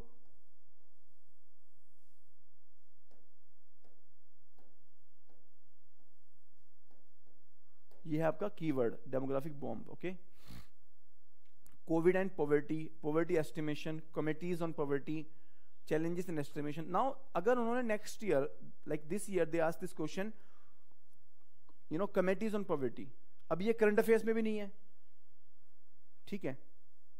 But we have already given it here जो आपको पढ़ना चाहिए कि किसने कितना recommend किया था। Challenges in estimation why estimation is important अभी आप देखेंगे तो for every sub topic we have five to six point five topic है चैलेंज इन एस्टिमेशन इसको हमने एक ही छोटे से पैराग्राफ में उड़ा दिया इसको। आपको नहीं उड़ाना है, आपको रिमेंबर करना है।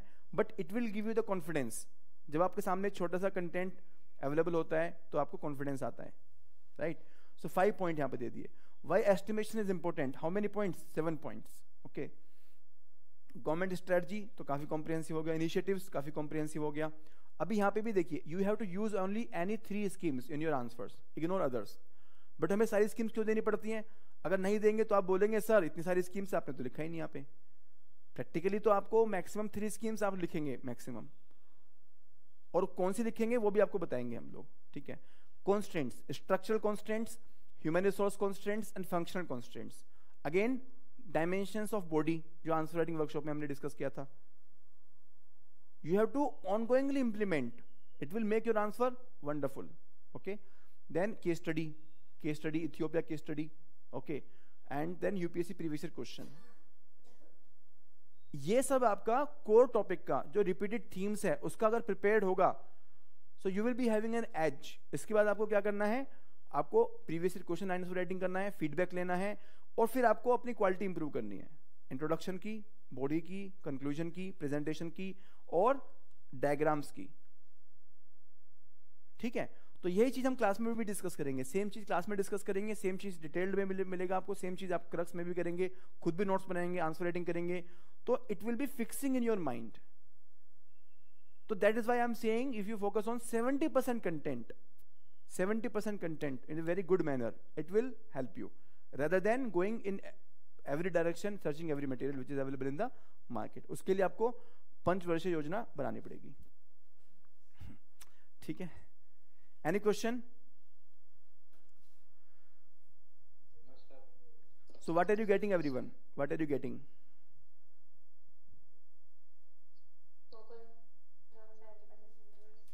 yes focus on 70% questions 70% themes without ignoring others है ना you have to focus more on certain themes without ignoring others what else you yeah very good very good specially जो बिगिनर्स हैं उनके लिए बोलना चाहूँगा और जो जो बिगिनर्स नहीं भी हैं आपके लिए भी बोलना चाहूँगा मैं आप भी प्रोन हैं 22 में आपका एग्ज़ाम है 23 में एग्ज़ाम है आपका आप काफ़ी समय से स्टडी कर रहे हैं आप भी प्रोन है कि आप लोग ज़्यादा पढ़ जाएँगे। यूपीएससी में कम पढ़ना कभी प्रॉब्लम नहीं होता पर ज़्यादा पढ़ना इरेलीवेंट पढ़ना सबसे बड़ी प्रॉब्लम ये होता है। मेरे लास्ट के अटैम्प्ट में आफ्टर थ्री अटेम्प्ट मेरे लिए सबसे बड़ी प्रॉब्लम थी कि जो मेरे पास कंटेंट है मैं उसको रिवाइज नहीं कर पाता। Are you getting okay what else Sir, her topic is a 360 degree approach. या Yeah. Very good Kinjal Kushal Mohit Hemchitra Awasthi Shivam Astolia Nidhi साहिल अंक- अ, एल्जा please everyone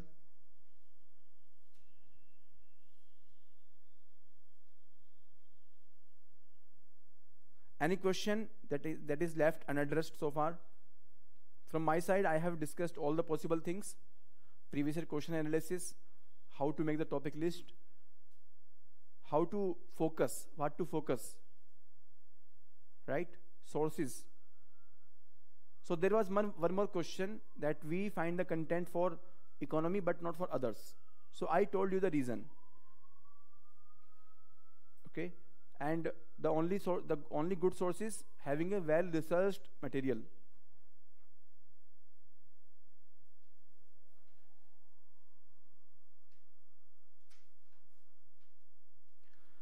okay so we are starting the mains classes with this. Okay. Can i read the Nitin Singhania for economy? Yeah ankita ankit that will help you more in the prelims. And yeah there are some some chapters for the mains but mains is very dynamic. All the books they are primarily focusing on the prelims part. I'm also part of this uh, book uh, when we draft this book. But the problem that we face in writing the standard books is that the number of pages that we can give in the standard books is less see आप समझिए market dynamics को आप समझिए McGraw Hill को it is a publisher and there is a author okay author want to include everything prelims mains अब बताइए सबसे बड़ी मार्केट किसमें है प्रीलिम्स में है कि मेंस में है from the point of view of publisher prelims में कितने लोग एग्ज़ाम अपियर होते हैं? फाइव लाख तो अपियर होते हैं और टेन लाख लोग बुक खरीदते हैं, जो बुक लेके रख लेते हैं। सो टेन लाख यहाँ पे सेल होगा। मेंस स्पेसिफिक होगा तो कितना सेल होगा? Maximum one lakh one lakh तो पूरा मार्केट बाय करेगा और बैंकर का may be fifty thousand buy करेगा, अगर ये टॉप सेलर भी है तो पर ईयर सो यहाँ पे टेन में से फाइव तो बाय करेगा करेगा। फाइव लैख तो किसमें इसको फोकस करना होगा? प्रिलिम्स पर। So they are focusing on the prelims now in the prelims only 500 to 600 pages का कंटेंट हो जाता है। तो यहाँ पे क्या करते हैं कि प्लस 100 पेजेस को मेंस डाल दो और बोल दो कि प्रीलिम्स का मेंस बुक है हमारी। ये होता है। सो so, आप किसी भी टॉपर के मुँह से सुन लीजिए कोई भी नहीं बोलेगा कि मैंने स्टैंडर्ड बुक पढ़ के, लक्ष्मीकांत पढ़ के पेपर टू क्लियर कर लिया। पॉसिबल ही नहीं है, क्योंकि बुक्स की ओरिएंटेशन ही प्रीलिम्स स्पेसिफिक है। ओके? बुक्स की ओरिएंटेशन ही प्रीलिम्स स्पेसिफिक है। जो मार्केट जो मार्केट पब्लिशर्स हैं, उनको अपना इकोनॉमिक इंटरेस्ट भी सर्व करना होता है। जितना ज़्यादा बुक पब्लिश करेंगे, उतना ही उनका कॉस्ट कम होगा।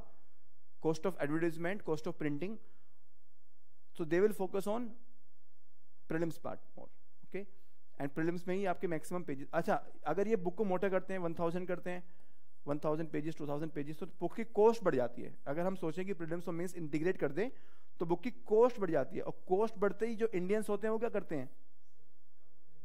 जो सस्ती बुक है, पहले वो खरीद लेते हैं। चलिए, कोई बात नहीं। 500 वाली बुक खरीदते हैं। तो आप देखेंगे जितनी भी स्टैंडर्ड बुक्स हैं, उनका कॉस्ट पता है कितना होता है? आप एक एनालिसिस कीजिएगा। 400 टू 600 में ही सारी बुक खत्म हो जाती हैं। ये साइकोलॉजिकल बैरियर है हमारा। फाइव हंड्रेड रुपीज़ जो बहुत ज़्यादा फ़ेमस होगी 500 से 600 चली जाएगी। ठीक है? और जो थोड़ा पब्लिशर कॉस्ट फ्रेंडली होगा, जैसे स्पेक्ट्रम में आई थिंक उनकी कम तीन सौ, चार सौ रुपए के आसपास की आती है। So you have to understand the psychology of the things इसीलिए कोई भी जो बुक होती है आई एम नॉट सेइंग कि author do not want but author के चाहते हुए भी वो नहीं कर पाती। उनकी लिमिटेशन हो जाती हैं। Right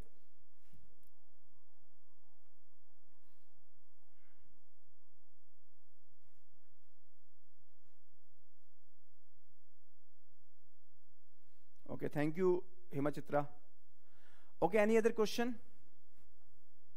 so on the similar lines we will be having these classes okay so this topic list we will be giving to all the students okay ये topic list आपको मिल जाएगा and we will be running the classes on this on the basis of this topic list only in order of priority okay the the sequence of classes will not be exactly same okay but it will be in the order of priority and we have given the priority category category b topic here आपको इसको एक checklist की तरह use करना है you should maintain this like a checklist कि आपकी खुद की प्रिपरेशन खुद का रिवीजन खुद का आंसर राइटिंग इस हिसाब से आपका हो रहा है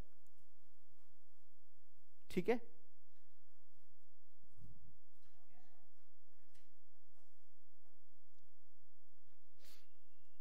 so we will start with the economy part first because that is more dynamic और वो कहते हैं ना eating the big frog first सबसे पहले जो सबसे बड़ा एरिया है, पहले उसको कवर करेंगे तो कॉन्फिडेंस आता है। तो उस चक्कर में क्या है, छोटा चैप्टर तो ऐसे हो जाता है, हवा में। So science and technology internal security वो आपका काफ़ी कम समय में हो जाएगा। But this will take time economy will take time and it will help you in the current affairs also okay so focus on the 70% portion. Okay? Everyone, please give your three takeaways from today's class before you leave. Because class से मिलने के बाद में आप जो लेके जाएँगे, वो वही होगा जो आप टेक अवे बोलेंगे। मैं हमेशा टेक अवे वही बोलता हूँ, हमेशा क्लास में पूछता हूँ मैं। रेगुलर क्लासेस में भी मैं पूछता हूँ, क्योंकि आपने इतना कुछ पढ़ लिया दो घंटे में। बट आपका मेजर की टेक अवे क्या है? Please write in the notes अभी नोट्स में लिखिए आप अपने key takeaways right at least five key takeaways क्योंकि वही आपके साथ जाएगा, इसके बाद। बाकी सब उड़ जाएगा। मूवी से निकलने के बाद में एक या दो सीन तो याद रहते हैं। वो आपको हमेशा याद रहते हैं मूवी से निकलने के बाद में। वैसे ही क्लास से निकलने के बाद में यू शुड हैव कि क्या चीज़ मैंने सीखी इस क्लास से? क्या मैं चीज़ इंप्लीमेंट करने वाला हूँ इसके बाद? Right five point I want from everyone for yourself right it clearly think about कि मैंने हमने क्या क्या सीखा, जो मैं ध्यान रखूँगा अपनी पढ़ाई में। See one more thing I want to come back and discuss. I take answer writing workshop, right? Please just give me two minutes. And this is answer writing part. Suppose this is the pyramid of preparation of mains. So this is the climax. Answer writing is the climax. कैसे climax है? Because answer writing only tells us कि how many marks we are going to get. यही part आपके UPSC exam hall के से आपके examiner के पास जाता है। ये पार्ट तो नहीं जाता है आपका। Right but for getting this part very good you have to focus on your study your revision and your notes making because answer writing can be as good as your study material your revision and your notes making if you come to me and you say sir suddenly i want to focus on answer writing i can improve i will say no i never promise to any this, there are a lot of students who come to me and they say कि prelims में preparation हो गई है sir अभी mains की तैयारी मुझे करा दीजिए so I will always go back to कि आपने क्या स्टडी मटेरियल पढ़ा है आपने रिवीजन कैसे किया है आपका नोट्स मेकिंग किस तरह का है only after that I should tell you कि कैसे आपके आंसर राइटिंग इंप्रूव हो पाएगी बिकॉज़ ये चीज़ एग्ज़ाम आपको विजिबल होती है। आपको लगता है कि सिर्फ़ इसी से मेरा काम हो जाएगा। बट जब तक आपने स्टडी मटेरियल अच्छे से नहीं किया है, आपने रिवाइज नहीं किया है नोट्स मेकिंग नहीं की है तब तक आप आंसर राइटिंग अच्छे से नहीं कर सकते। इतना अच्छा होना चाहिए ये कि आंसर राइटिंग में दिखे ये exactly clearly separately so answer writing will be automatically very very good so answer writing is is one part out of these four four parts. Right answer writing is very important because only answer writing will tell कि आपका, अगर आपकी answer writing कमज़ोर है तो इनमें से कोई ना कोई रीजन आपका कमज़ोर है। कोई ना कोई आपका वीक लिंक है। या तो स्टडी मटेरियल आपको इसमें अच्छा नहीं है रेलिवेंट नहीं है, या तो रिविजन आपने अच्छे से नहीं किया है, या फिर आपने नोट्स मेकिंग अच्छे से नहीं किया है। एग्रीड तो आंसर राइटिंग आपको, ये एक it is a kind of mirror answer writing is a mirror तो आंसर राइटिंग करते रहिए okay to get to know कि हाँ हम मैं कहाँ पर हूँ। मेरा स्टेटस क्या है? मैं किस स्केल पर हूँ? From zero to ten very good please write five points